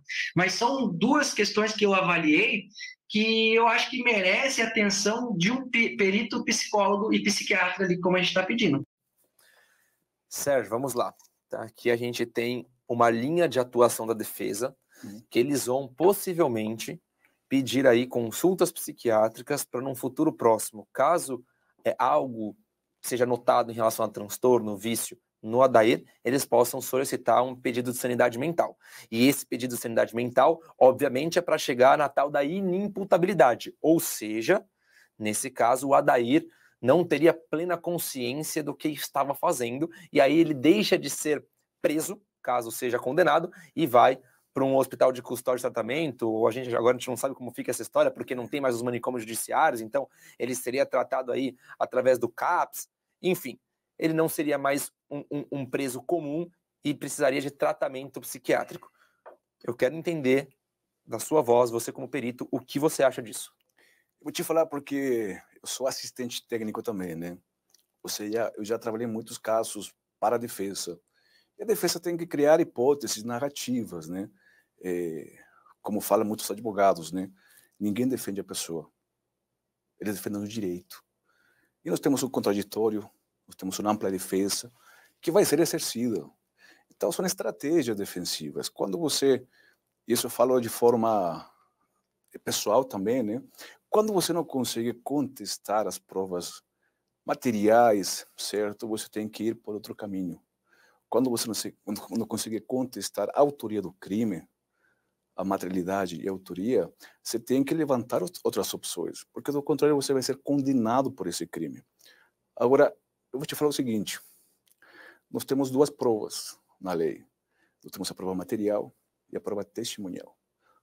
Qual que é o problema, Leonardo? O seguinte: a prova testemunhal, a prova oral, subjetiva, eu posso criar, eu posso induzir, uma pessoa pode ficar atrelada a falsas memórias então, essa prova oral, uma testemunha, me otorga mais veracidade, mais credibilidade que uma prova científica de DNA, por exemplo, que uma prova científica de local, que uma perícia necroscópica. Não. Tanto assim que a lei fala o seguinte, que a prova testemunhal ela será utilizada no processo como a reina das provas quando a prova material desaparecer. Então, em tese, nós temos que dar credibilidade, como judiciário, certo? Como agentes que trabalhamos na justiça, à prova material. Primeiro, a prova material. Agora, sobre a insanidade, é uma estratégia defensiva. Ampla defesa, é exercer, nesse caso, contraditório. Lógico, eles vão analisar o laudo cadavérico de local, as provas periciais, tentando achar alguma brecha para contestar. Sérgio, muito bom o nosso papo. Para a gente finalizar tudo aqui o que já falamos, eu vou pedir a nossa linha do tempo. Essa linha do tempo nós já mostramos para vocês. Então, só para a gente contextualizar aqui, no dia 31 de maio de 2023, essa informação tá errada, gente, desculpa, é no dia 31 de maio, não de março, tá? A Franciele é encontrada morta na tarde do dia 31 de maio de 2023, certo? no dia 2 de junho, dia do sepultamento de Franciele, e nesse mesmo dia o Adair é preso após o velório. Nesse dia que a família da Franciele não entende nada. Por que, que o Adair está sendo preso? Mas ele foi preso.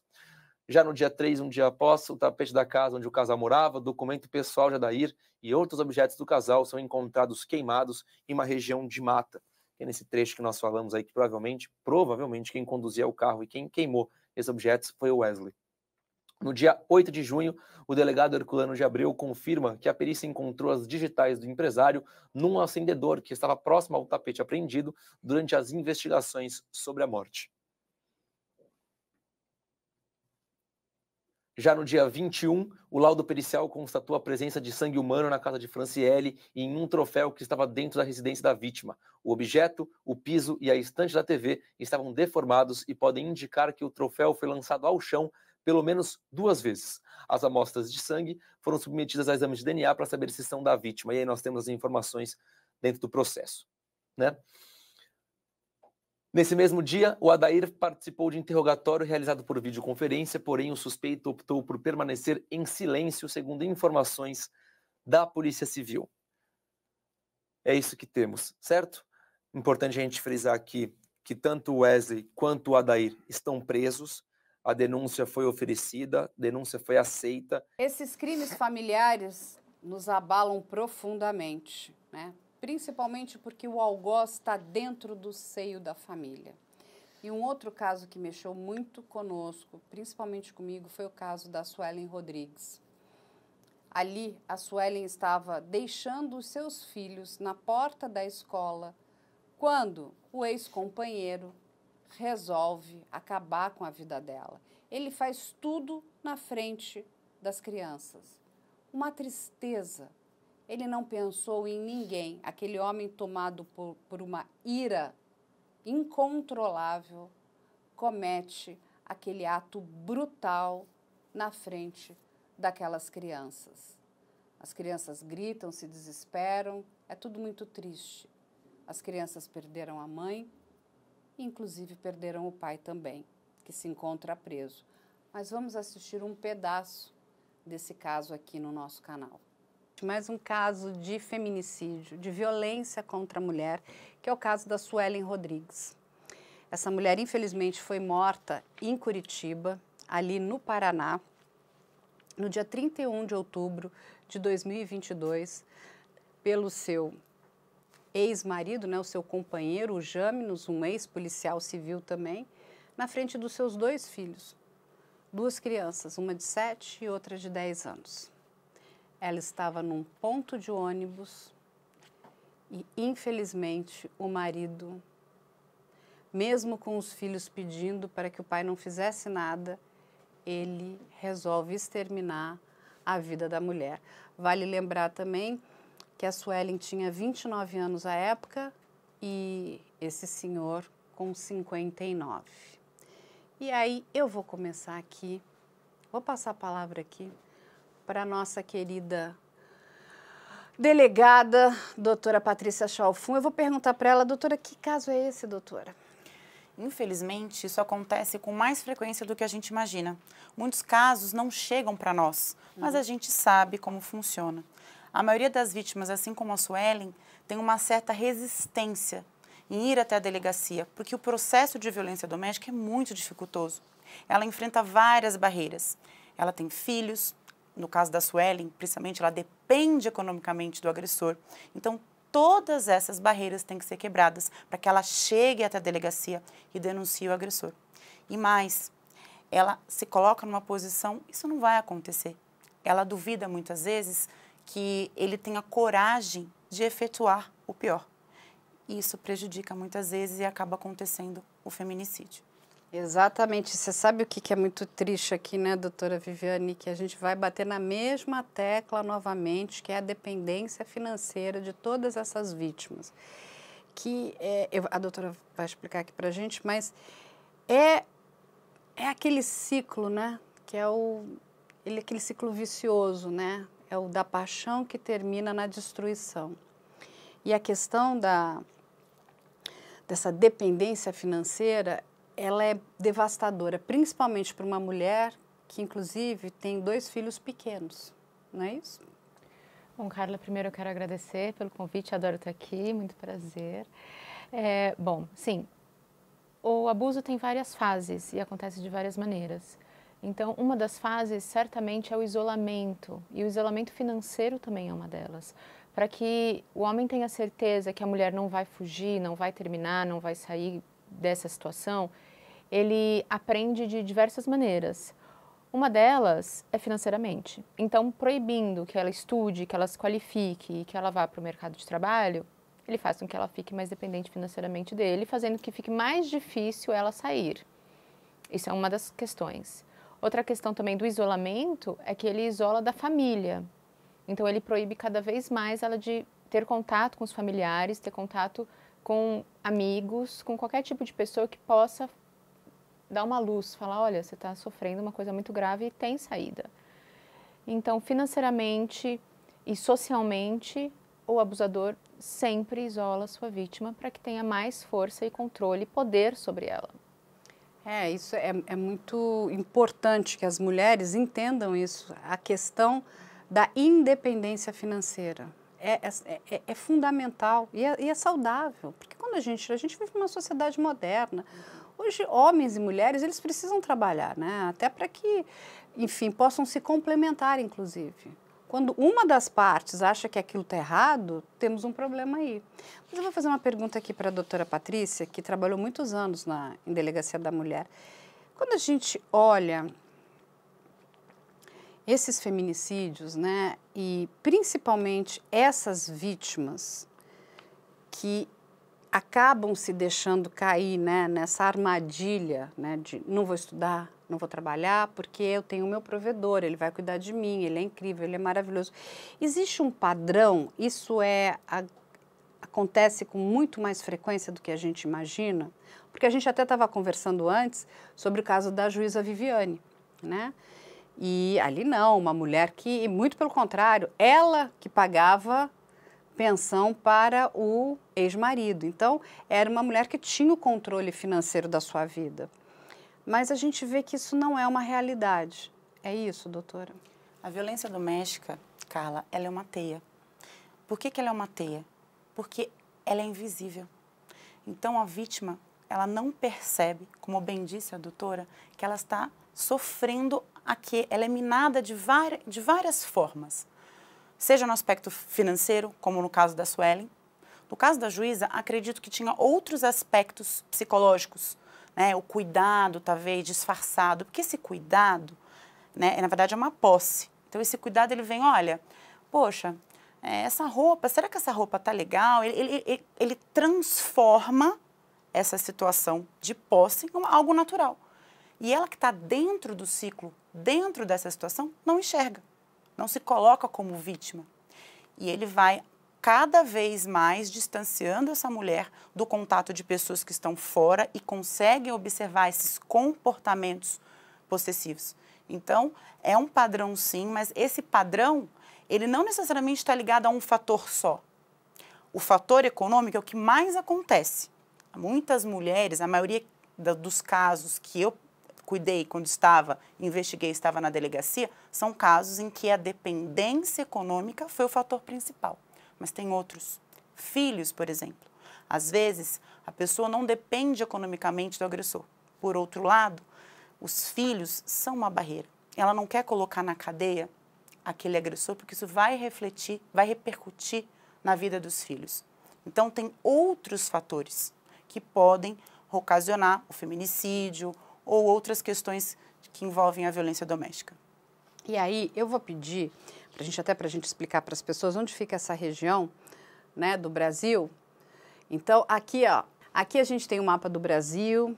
Aí a gente vai aqui para a região ali do Paraná, do estado do Paraná, e vamos até Curitiba, que é exatamente aqui essa região onde o Jâminos executou, porque exatamente isso foi uma execução, executou a mulher, a ex-mulher, na frente dos seus filhos. É uma tristeza. E, doutora Viviane, quando a gente fala, né, eu, eu acho que é importante a gente explicar para as pessoas, eu, vou, eu sempre peço para a doutora Viviane explicar isso aqui um milhão de vezes, né? Esse padrão, quando a gente fala né, no, no padrão do agressor, ele não chega agredindo, ele não começa agredindo. E é isso que a grande maioria das pessoas tem muita dificuldade de entender, porque ela fala: não, mas ele era incrível comigo. Ele era bom, ele era amável, ele me dava presentes, ele era carinhoso. E, e, e aquilo mudou. E aí ele começou a ficar rude, ele começou a ficar ríspido, ele começou a não gostar de nada do que eu falava ou, de que eu, ou do que eu fazia. Então, assim, como é que. É, é, tenta explicar um pouquinho para as pessoas esse comportamento.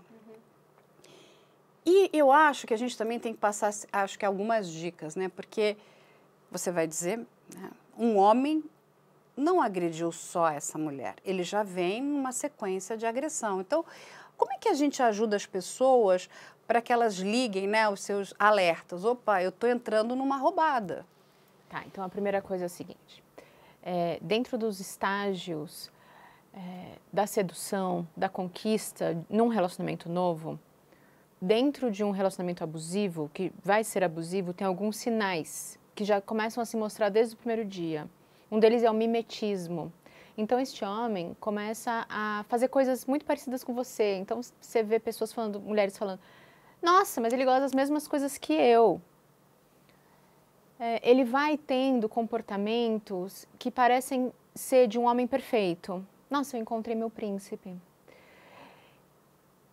Se o homem chegasse te xingando no primeiro encontro, era fácil. Você desligava o telefone, bloqueava, acabou. Mas claro que ele não vai fazer isso, porque senão, assim, ele não vai te fazer uma vítima. Ele vai conseguir que você mergulhe nesse relacionamento completamente ao te seduzir. E esses homens são muito sedutores. A maioria destes homens dão presentes, dão jantares, prometem fundos imundos e conhecem a psique da mulher, sabem o que ela mais deseja, porque em momentos de vulnerabilidade, de confiança e de troca de afeto, ela se abre, ela fala o que ela quer, ela fala o que está no coração dela. Aí ele usa aquilo para manipulá-la. Não termina comigo. Pelo amor de Deus, olha, eu me descontrolei hoje, eu te xinguei, eu fiquei muito nervoso, mas vamos fazer uma viagem amanhã. Você disse que quer casar, ter filhos, eu estou pensando nisso, vamos ficar noivo. E ele vai fazendo pequenos passos ele vai te dando coisas com uma mão e com a outra ele tira tudo, claro. Então, isso é uma das coisas. Um relacionamento violento não começa violento, ele começa bom. Só que tem uma coisa chamada reforço intermitente, que é dentro da psicologia comportamental, que é eu dou um reforço, ou seja, eu dou alguma coisa boa e tiro essa coisa boa. Isso faz com que a pessoa fique sempre querendo aquela coisa boa de volta. Por exemplo, eu tô sexta-feira à noite, eu vou passar o fim de semana com meu namorado que às vezes fica meio nervosinho. Mas às vezes vai ver que vai ser bom hoje, eu não sei, vai ver que nosso jantar vai ser super legal, super romântico. Talvez não seja. Aí um dia é. Ai, viu, ele consegue ser legal. Ah, ainda bem que eu não terminei com ele, olha como foi legal hoje. Mas aí no sábado, isso na sexta, no sábado, aí vocês saem para jantar, mesma coisa, aí você atrasa cinco minutos. Nossa, atrasou! E já acabou o jantar por causa daquele atraso. Então, é um reforço intermitente. Ele dá uma coisa legal, ele tira coisa legal faz com que a pessoa fique querendo aquela coisa legal de novo. Isso é psicologia. A gente fica muito viciado nesse comportamento, nessa dinâmica, nessa dinâmica, porque a gente está sempre querendo buscar aquela coisa boa. Um abusador não é só ruim. Se fosse só ruim, tava fácil. Aí você pegava ele rápido ali, né? Tava fácil. O problema é que parece uma chave. Sabe aquela chave que, assim de força que gira assim, pra, que vira para cima e para baixo? Então, é o the best e the monster, eu chamo the best, o melhor, o melhor namorado que você já teve. O cara é muito legal. O cara é muito legal. The monster, o monstro, é o pior de todos. E fica nessa mudança de chave constantemente. Se fosse só ruim, tava fácil. Ele só tem coisas ruins, mas não. Tem muita coisa boa, tem muita lembrança boa. Quanto mais tempo passa, mais difícil vai sendo de você sair desse relacionamento, porque tem muita coisa tem muita história, tem muito momento legal, tem dois filhos, tem coisa de dinheiro, tem coisa de casa, tem patrimônio envolvido, e tem história, e tem sonhos, e tem planos. Cada vez você fica mais como se fosse uma areia movediça, é a imagem que eu tenho disso.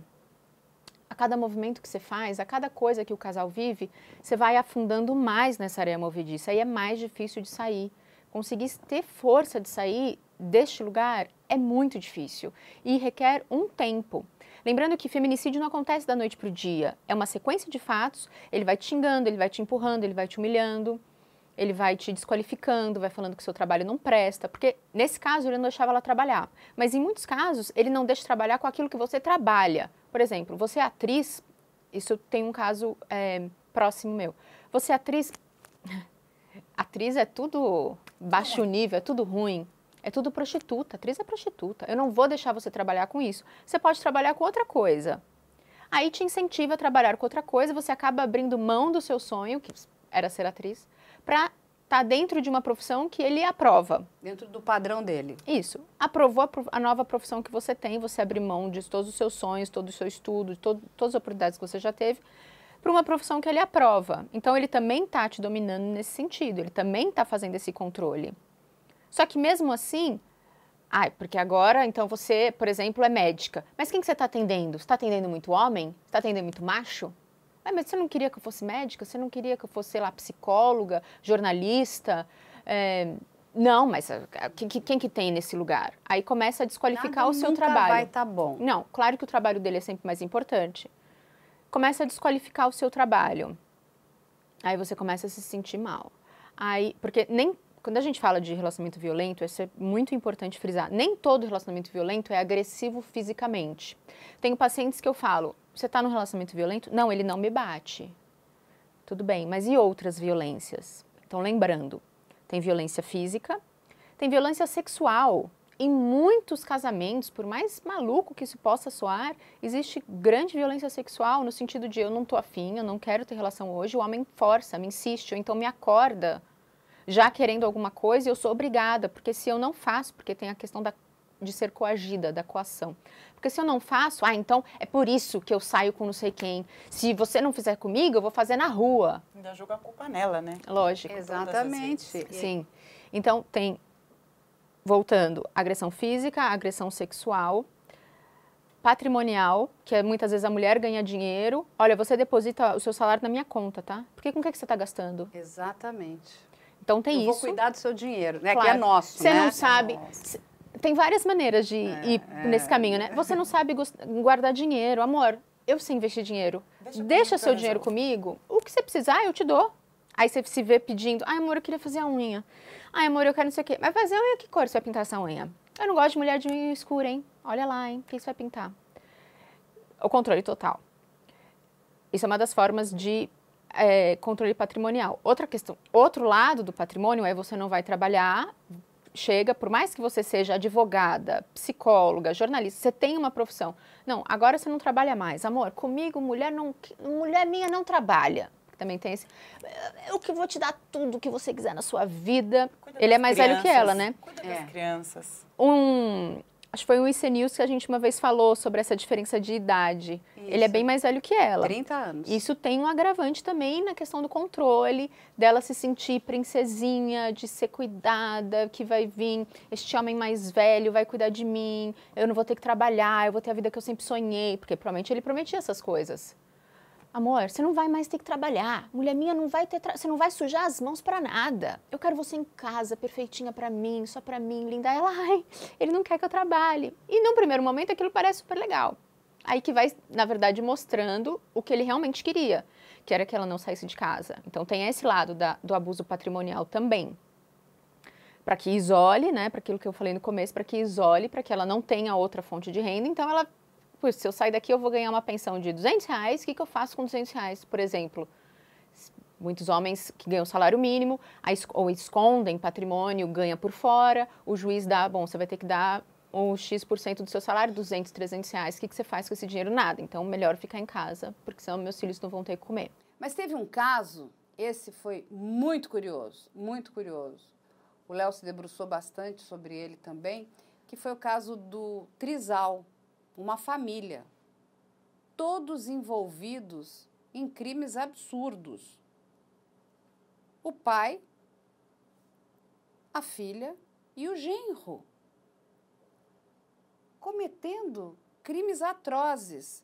E eu lembro que a gente perguntou muito aqui, nós conversávamos muito, e nós tínhamos inclusive o professor, o querido professor Alessandro, quem de fato era a maior vítima daquele crime. O que, que você acha, Léo? É, Carla, então, esse daí é mais um dos casos bizarros que caíram aqui na nossa mão, né? Porque do nada aparece em todos os canais de comunicação que uma moça eh, divulgou vídeos, fotos, compartilhou nas redes sociais várias imagens dizendo que o seu marido atraía com o seu próprio pai. Então, o que nós temos aqui? Uma moça que diz que o amante do seu marido é o seu próprio pai. E aí fica aquela dúvida, depois que a gente vê os vídeos, as imagens, coleta das informações, checa as informações, que isso é muito importante, quem é a principal vítima dessa história. E como você muito bem disse, Carlos, o professor Alessandro participou com a gente na live e ele nos conta um pouquinho sobre esse caso. Quando a gente olha esse caso, porque teve muita gritaria, tem crime, que crime, que crime é esse? O maior crime, para mim, desse caso, e você me corrija se eu estiver errado, errada, é, é primeiro é a divulgação da informação, enf- enfim, íntima dessas pessoas, porque ah, o que acontece dentro de um quarto, seja lá ou um quarto de uma residência, ou um quarto, enfim, de um hotel, de um motel, é qualquer quarto que seja, é da intimidade daquelas pessoas. Essas informações não podem ser né, vazadas nas redes sociais. Eu estou certa ou estou errada, professor? Está perfeita. Quero agradecer em primeiro, né, por né, uma vez mais aí ter sido convidado né, para participar do programa de vocês. E realmente eu diria, Carla e Léo, né, agradeço. Eu começo a falar aqui e em vezes é até difícil começar a fazer aquela coisa mais formal de agradecer, porque aqui já é minha casa. É verdade, Mas é casa devo dizer, professor. sim, sim, assim, assim eu me sinto, né? Já penso aqui, já faço parte da equipe, né? Então, eu vou dizer para vocês que tem algumas coisinhas aí para começar a conversar sobre esse assunto. Primeiro, para falar nesse assunto, tem que ter uma cabeça com uma linha cronológica muito boa. E aí, para isso, acredito que nós vamos utilizar muito aí, né, do raciocínio, da memória, né, da cabeça lógica do Léo, porque cada vez que eu penso em tudo que eu li e que eu vi também, né, a respeito, aí nos vídeos que foram colocados, a minha cabeça embaralha, né, então essa é uma das coisas que acontece. Uma segunda situação, eu acredito que falar nisso só é realmente interessante nas condições aqui do investigação criminal. Que uma das coisas que me faz vir aqui de olhos fechados é saber que vocês sempre pensam o caso em vista de uma análise positiva.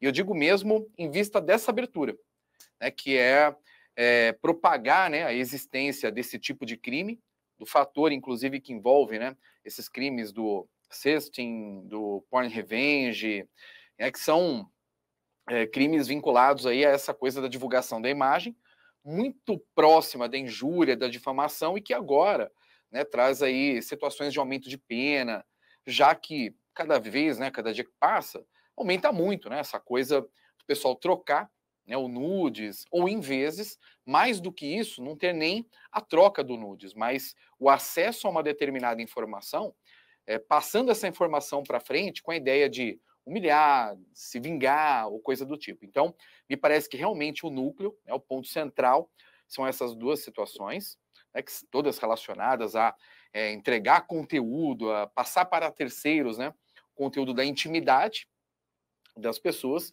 e isso, né, faz com que a gente consiga discutir uma coisa muito séria, né, porque boa parte das pessoas, inclusive, elas encaminham é, o material do outro e vai passando para terceiros, em vezes porque acha engraçado, é, em outra né, existe né, essa coisa, né, o ser humano consegue né, demonstrar pela sua natureza que ele deu certo em parte, né, então ele deu certo também, mas não foi só isso. Então a pessoa faz isso às vezes por, por, é, é- é por um sadismo, um- em vezes acha engraçado ou coisa assim, e não pensa nas consequências, inclusive aquelas da esfera criminal, né, da esfera penal. E eu acredito que a palavra que você colocou é a palavra que mais se encaixa ao caso. Eu duvido que alguém consiga encontrar uma palavra melhor para dizer a respeito disso. Bizarro. Que, que aconteceu, Léo? Porque as informações que vão chegando são as mais variadas. Que essa moça estaria envolvida num assassinato, que essa moça teria uma, enfim, uma personalidade muito complicada, vingativa, que ela teria tido um bebê, que ela perdeu o bebê e que essa perda do bebê teria sido motivada por uma briga do casal. E aí o pai ficou com raiva que a, que a filha perdeu o bebê, então resolveu se vingar. E, enfim, e aí é vingança, mas aí do outro lado tem uma história de que o casal resolveu se prostituir para pagar dívidas, na verdade, o, o rapaz, né? E aí quem fazia parte dos encontros era o sogro. Eu fui, eu fui lendo aquilo, eu falei assim, Na Piripaque. meu Deus, o que é isso? Porque não é só um trisal. É um, é um, é um, é um- é assim, gente, me faltam palavras de tão bizarro que é essa situação. Léo, conta aí pra gente. Bom, vamos lá. Primeiramente, é um prazer dividir aqui o espaço com vocês. E é bizarro para todo mundo, né, Carla? Porque, assim, a partir do momento que a gente está na rede social, a gente é bombardeado com um monte de informações, inclusive fake news. É, nós aqui tivemos acessos a diversos perfis, no nome do Juninho, por exemplo, no qual não eram controlados por ele. Então, né, as pessoas Olha começam, que perigo as pessoas isso. começam a criar diversas informações, inclusive soltaram aí uma foto é, que tinha uma legenda, ah, agora vou deixar de dar, né? Porque estou ganhando muito na- nas plataformas de apostas. Então, como se uma plataforma de aposta agora estivesse patrocinando e pagando ele porque ele está na mídia. Uma coisa nada a ver, não existe isso. Ele não está nessa plataforma, essa plataforma não está pagando absolutamente nada e essa plataforma existe. Ou seja, usaram também o nome de uma plataforma esportiva. A gente tem que ter muito cuidado para falar de um caso como esse, que tem diversos pontos de interrogação, diversos lados da história, ao mesmo tempo que une aí no, nesse núcleo a rede social, porque a gente sabe que dentro da rede social acontece de tudo. Mas, mas, para a gente começar é o seguinte. Ali pelos dias 15 e 16 de novembro, começam a ser compartilhadas as informações, os vídeos, os prints, as fotos pela Camila, que é essa menina, certo? Uhum. Isso vem à tona entre os dias 21 e 22 de novembro, quando viraliza, né? Se vê à tona, eu quero dizer que viraliza, que explode para todo mundo. Que aí todo mundo fica sabendo e vira esse bombardeio de informações e tudo isso que nós estamos vendo até agora. Tá. Aí começa a se questionar, mas espera aí, era um caso de amor? De fato, o pai da Camila começa a se relacionar com o marido dela, com o genro, porque eles se gostavam, porque eles se amavam, e aí a menina descobre por conta de uma vingança, joga isso nas redes sociais. E isso é o que todo mundo de início imaginou. Nossa, o pai passou a perna na filha e o marido também passou a perna na esposa e começou a ter um caso entre São esses dois amantes. homens. São amantes. Uma traição em Uma Araraquara. traição em Araraquara. É o Tá que bom. aparenta nos primeiros cinco É o- segundos. Isso, é o que aparenta nos primeiros momentos. Aí depois surge a informação de que essa menina já esteve grávida e ela sofreu violência doméstica e perdeu o bebê. E quem comete a violência doméstica à época dos fatos é justamente o Juninho, porque eles já estavam juntos. Então, essas são as informações que nós estamos começando a aprofundar.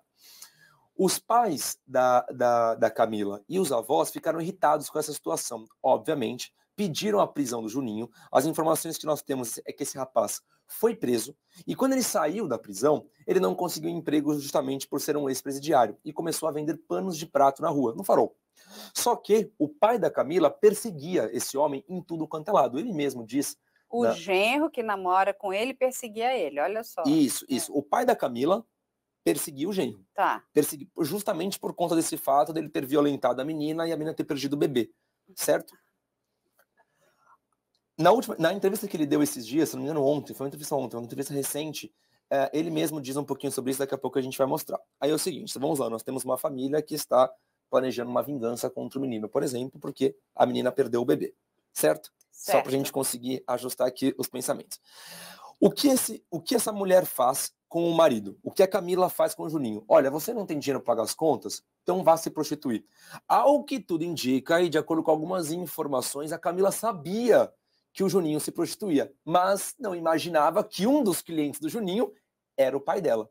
E aí vem a pergunta: o pai dela se tornou cliente do Juninho por quê? Será que de fato ele já queria se relacionar com o menino? Será que de fato ele começa a se relacionar com o menino para fazer os vídeos e, e aí ter um plano de vingança contra ele mesmo?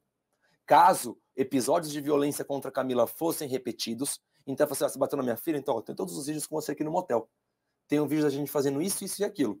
Vai continuar a agressão? Eu vou divulgar. O que também é, não pode ser feito, porque isso é uma violência, né? Exatamente. Ele Então aí tá, a gente chega nesse cenário. E aí a Camila, pelas informações, não sabia que o pai se envolvia com o marido dela, descobre através do celular do pai as imagens, as filmagens, as conversas e joga isso nas redes sociais. Ela, a- que tudo indica, é a Camila quem tira as mensagens do celular do pai e joga nas redes sociais. Isso é o que nós temos. E aí deu tudo isso que E aí tem uma estamos vendo. história que a gente, não sei se você conseguiu apurar isso, Léo, que existe um envolvimento dessa moça num suposto assassinato. Exato. Essa é uma outra informação muito sensível, né? De fato, teve um assassinato de um menor de idade. Ela também era menor de idade à época dos fatos. Não estou aqui dizendo que ela de fato participou, tá bom? Sim, é o que está É rolando o que está rolando. Mas é um menino que foi morto em um estacionamento de um supermercado, se eu não me engano. Ele foi espancado por outras pessoas e nesse espancamento te- teria tido também a participação da Camila, tá? Ah, ao que tudo indica, todas as pessoas que participaram, inclusive, exceto um que fugiu, mas que depois foi pego, foram presos. Foram presos não, na verdade eles foram apreendidos. apreendidos, né? São menores de 18 Exato. anos. Então, nessa, nessa história, a gente teria também uma ficha suja aí da, da Camila, porque essa vítima, à época dos fatos, era transexual. Então, está surgindo na mídia de que ela já tinha praticado assassinato contra um transexual, uma pessoa transexual, entendeu? Seria uma transfobia. Isso, né? Um mas quando a gente pega os fatos, e são fatos anteriores, a gente não tem o nome desses agressores. A gente tem a informação de que realmente um transexual foi assassinado, mas nós não temos as informações desses agressores. Então não dá para a gente atestar que de fato foi a Camila. Quem diz que foi a Camila e que na verdade não foi que foi a Camila, mas que ela teve participação, são as pessoas que moram ali na região de Araraquara e outros vizinhos ah, na, nas residências aos lados. Ou seja, entendeu? professor, aqui, qual é a responsabilidade dessas plataformas?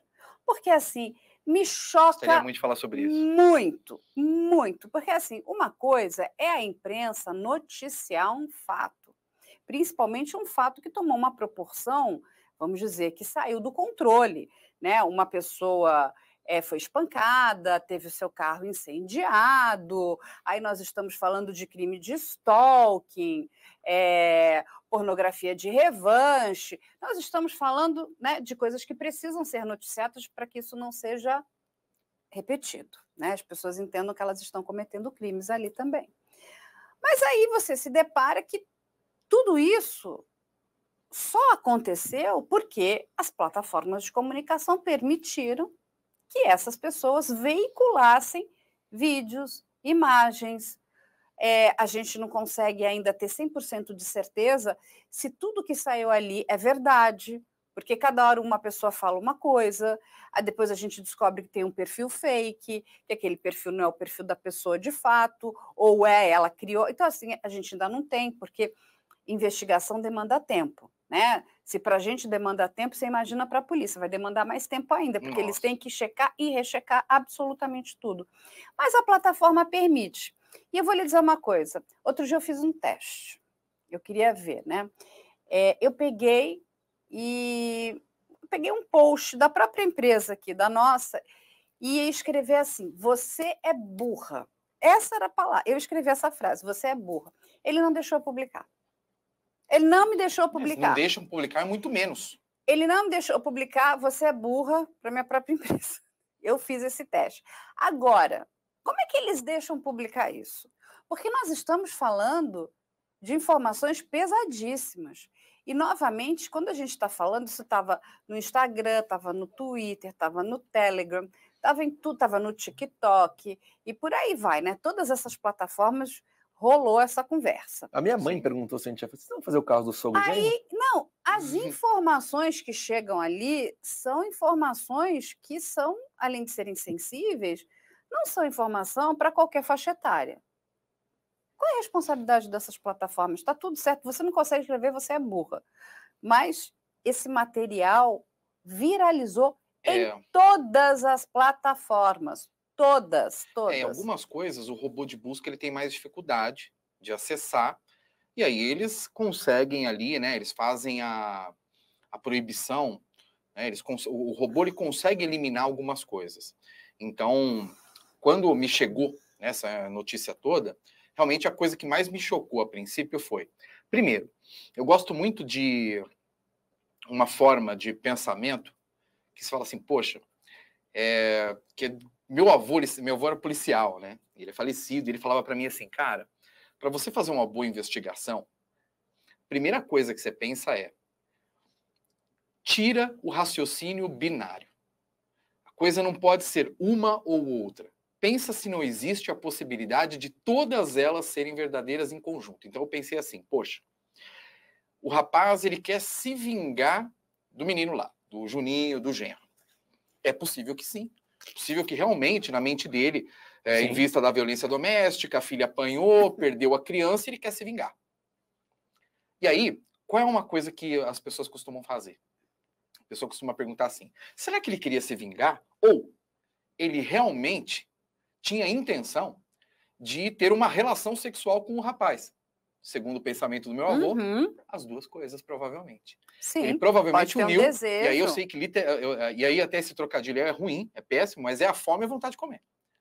Porque o sujeito, ele provavelmente ele tinha ali um problema com o rapaz, e aí eu acredito que a cabeça dele deve até ter pensado o seguinte: poxa, eu tenho uma ótima desculpa aqui. Eu fui até ele, é... busquei ali, né, por meio ali de ameaças, abusar sexualmente dele. E o abusar sexualmente ali provavelmente é também para satisfazer ali a lasciva, uhum. né? Uma vontade que ele tinha, o próprio prazer ou coisa do tipo. Então, eu de, de verdade, se fosse pensar uma história a princípio, para buscar saber o que aconteceu, eu pensaria que as duas coisas estariam ali em conjunto para, para investigar. Né? Ele tentou ali, talvez, realmente a vingança e, numa boa desculpa, abusar do rapaz que provavelmente já estava na cabeça dele. Essas duas situações. Quando eu me deparei com essa história toda, provavelmente já não estava mais nas redes sociais, Facebook, no Instagram e tal.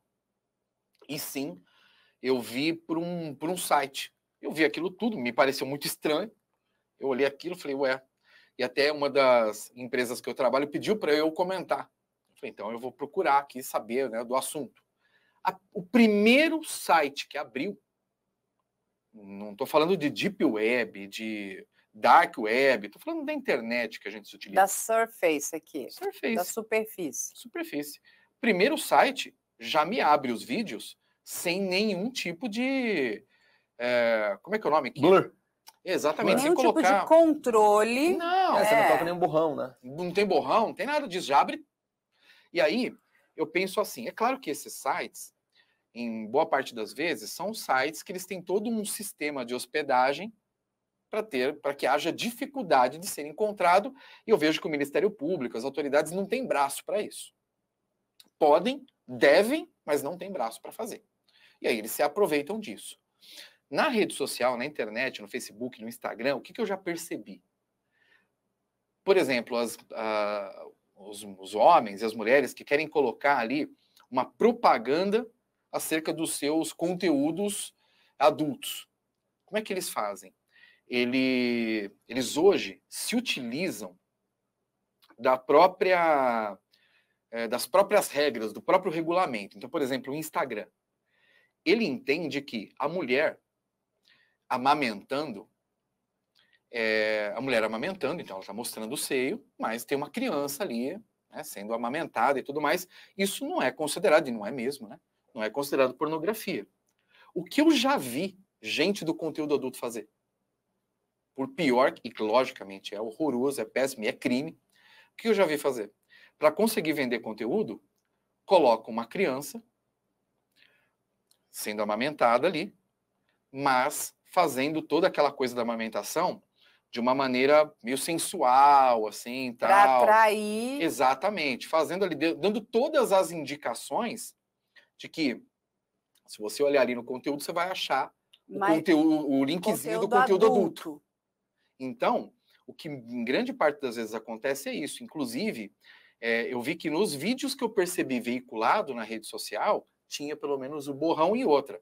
Dá para ver que o rapaz, e aí eu acho que é uma conversa que a gente vai ter aqui, ele está extremamente constrangido nesses vídeos, porque eu consegui ver os vídeos sem borrão nenhum. É estranho o jeito que ele reage quando ele vi- vê que está sendo gravado, né? É, uma coisa que acontece, eu gosto de estar aqui, é a seguinte: a gente sabe muito bem que perito, policial, jornalista, investigador e qualquer pessoa, existe a séria e a não séria. O policial, quando ele olha um vídeo como esse, qual é o raciocínio, a maneira como ele vai olhar para isso? Não pode olhar para isso como se fosse uma pornografia, ele tem que olhar isso para poder procurar, investigar e chegar nos fatos que ele precisa ali. E quando você olha para um conteúdo desse, o que dá para perceber bem facilmente, acho que a primeira coisa que você saca é esse constrangimento e o rapaz, ele tenta tampar ali as partes íntimas. Ele, exatamente, é o Ele constrangimento. está constrangido. O que mostra, inclusive, que ele não está de acordo, Ah, talvez, possivelmente, exatamente. com essa gravação. A gente Ou, tá gira sendo ali, amea- ou, tá- ou sabe que vai ser gravado, mas sendo ameaçado. gira entre o não consensual e o constrangimento. Vamos, vamos entender esse cenário, né? Depois que acontece toda essa veiculação, essa exposição online, o pai sai na rua. Ao que tudo indica, ele coloca fogo no carro do Juninho, tá? Ele ateia fogo no carro. E aí ele começa a gritar, falando algumas, alguns palavrões, enfim, algumas coisas abjetas sobre os, os fatos. E ele começa a atacar algumas garrafas de vidro na casa da vizinhança. E essas pessoas que cometem o espancamento são vizinhos desse homem, que é o, o, pai, o, pai, o, pai, da, o pai da O, Camila, o Edielson. o Edielson. E aí, durante o, e aí, só que o espancamento sai do controle, né? Porque ele é agredido por várias pessoas ao mesmo tempo, Pode virar um linchamento. ele leva cadeiradas. Acho que é o que acaba acontecendo. Isso, e é importante citar que ele não foi espancado por conta da viralização dos vídeos. Ele foi espancado porque estava perturbando a vizinhança. Ele ataca garrafas, enfim, igual nós falamos. Né? Então, é, é, para as pessoas, ele apresentava algum risco ali para os vizinhos. E durante o espancamento, ele leva cadeiradas, ele leva chutes, ele leva socos, e ele aí é hospitalizado em estado grave. Não, é, é assim, a gente olha essas cenas, isso é bizarríssimo no interior de São Paulo. Uma, uma Isso- história que, assim, é, é- sabe, você tenta entender, mas, de novo, foge da nossa compreensão. Nós estamos falando de uma família, né, de um contexto familiar que, por mais problemático que fosse, é, fugiu, vamos dizer, né, do, Perdão, nível né? aceitável de problema. É, mas você vê que como funciona a coisa, né? Que a gente sempre chega nesse, nesse fator, fator educação. Né? Se né, a gente visualiza aí, né, um- uma moça que talvez, né, não vamos bancar que isso tenha acontecido, mas talvez tenha participado de uma série de crimes quando adolescente. Eu sempre quero acreditar que quando isso ocorre, tem aí uma dose gigante né, de problemas na educação. Que provavelmente a educação se deu também, não somente, mas também por esse pai, que de princípios e valores dá para ver, aí eu posso bancar, não tem nada. Ou muito pouco. né? e aí o sujeito, né, o que a gente percebe esse sujeito, né, e aí o Ed Elson, ele tá ligado em todas as situações. Na primeira, né, na criação dessa moça, aí ela ela namora e casa e tem filhos, e um deles, infelizmente, vem a falecer, talvez tenha, tenha ocorrido, a gente não sabe bem, né, em vista de violência doméstica e tudo mais. E se isso tudo já não fosse suficientemente bizarro, né, né, o sujeito como forma, aí, ou pelo menos ele quer nos fazer acreditar como forma de vingança por isso tudo, ele vai atrás de uma relação né, amorosa com o rapaz, com o marido, né, e aí é, tem, duas, tem dois cenários nessa relação. Um pode ter sido o abuso, ou pode também ter sido o abuso, assim como depois, em vista da moça ter falado sobre eh, ele se prostituir, porque ele não arrumava mais emprego, porque ele chegou a ser preso, ou coisa do tipo, vai o pai e paga ainda os programas e tudo mais. Diz ele né, que paga os programas como uma forma de constrangê-lo e também de se vingar e de ter material para amanhã eh, fazer com que ele não volte a cometer né, os crimes, ele não volte a bater nela ou coisa assim. Mas me parece que não somente isso, pelas mensagens, né? E aí que a gente visualiza aquele crime que eu coloquei que é o sexting, né? Que é uma mistura de esse crime, né? Ele leva esse nome, que é uma mistura da palavra sexo com o texto, né? Com os textos, com as mensagens, né? De nudes e tudo mais e o texto. Que aí a gente visualiza essa troca de mensagem que ele fala assim, né? Pô, você não me ama mais, você não me ama, só eu te amo. É, o quanto que essas questões, né, essas violações mexem principalmente com a saúde mental dessas pessoas. É, a- o que ele fala ali, e não me parece uma mentira, me parece realmente que ele está abalado, principalmente se ele tiver provas que comprovem que ele estava sendo ameaçado, que esse sogro o ameaçava, né, ameaçando de morte, é, isso é muito grave, isso é gravíssimo. E as pessoas se desequilibram, né? As pessoas têm medo, as pessoas começam a aceitar, as pessoas começam a fazer aquilo que seu agressor pede. Isso é muito comum nos dias atuais. Não que isso seja uma prática nova, ela se intensificou e eu acho que é uma coisa muito importante, as pessoas passaram a denunciar coisas que não faziam no passado. Então, as pessoas estão denunciando essas práticas, principalmente as ameaças. É, essa história desse sogro está muito mal contada, né? Dessa relação que ele diz que tinha para proteger a moral da filha. Ah, enfim, as coisas que ele fala para o genro, que se o genro não fizesse, e se esse rapaz conseguir comprovar tudo isso, e me parece que comprovará, está com advogado, inclusive, é, ele estava ameaçando esse moço, né, de morte, o que é gravíssimo, né? Ele não poderia fazer isso, porque uma coisa é uma relação financeira ali que eles podiam ter pactuado. Olha, a gente vai aqui, enfim, eu vou contratar os seus serviços, serviços sexuais, e vou lhe pagar tanto, e outro diz, ok, tô, aceito o valor que você vai me pagar e vamos fechar isso aqui. O que não me parece que é isso que estava acontecendo. É isso, gente. A gente encerra por hoje.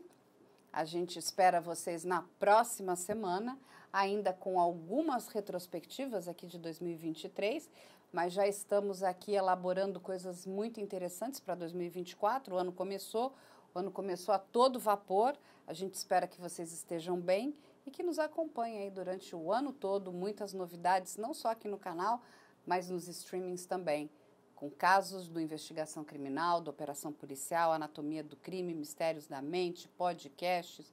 É muita novidade, não é isso, Léo?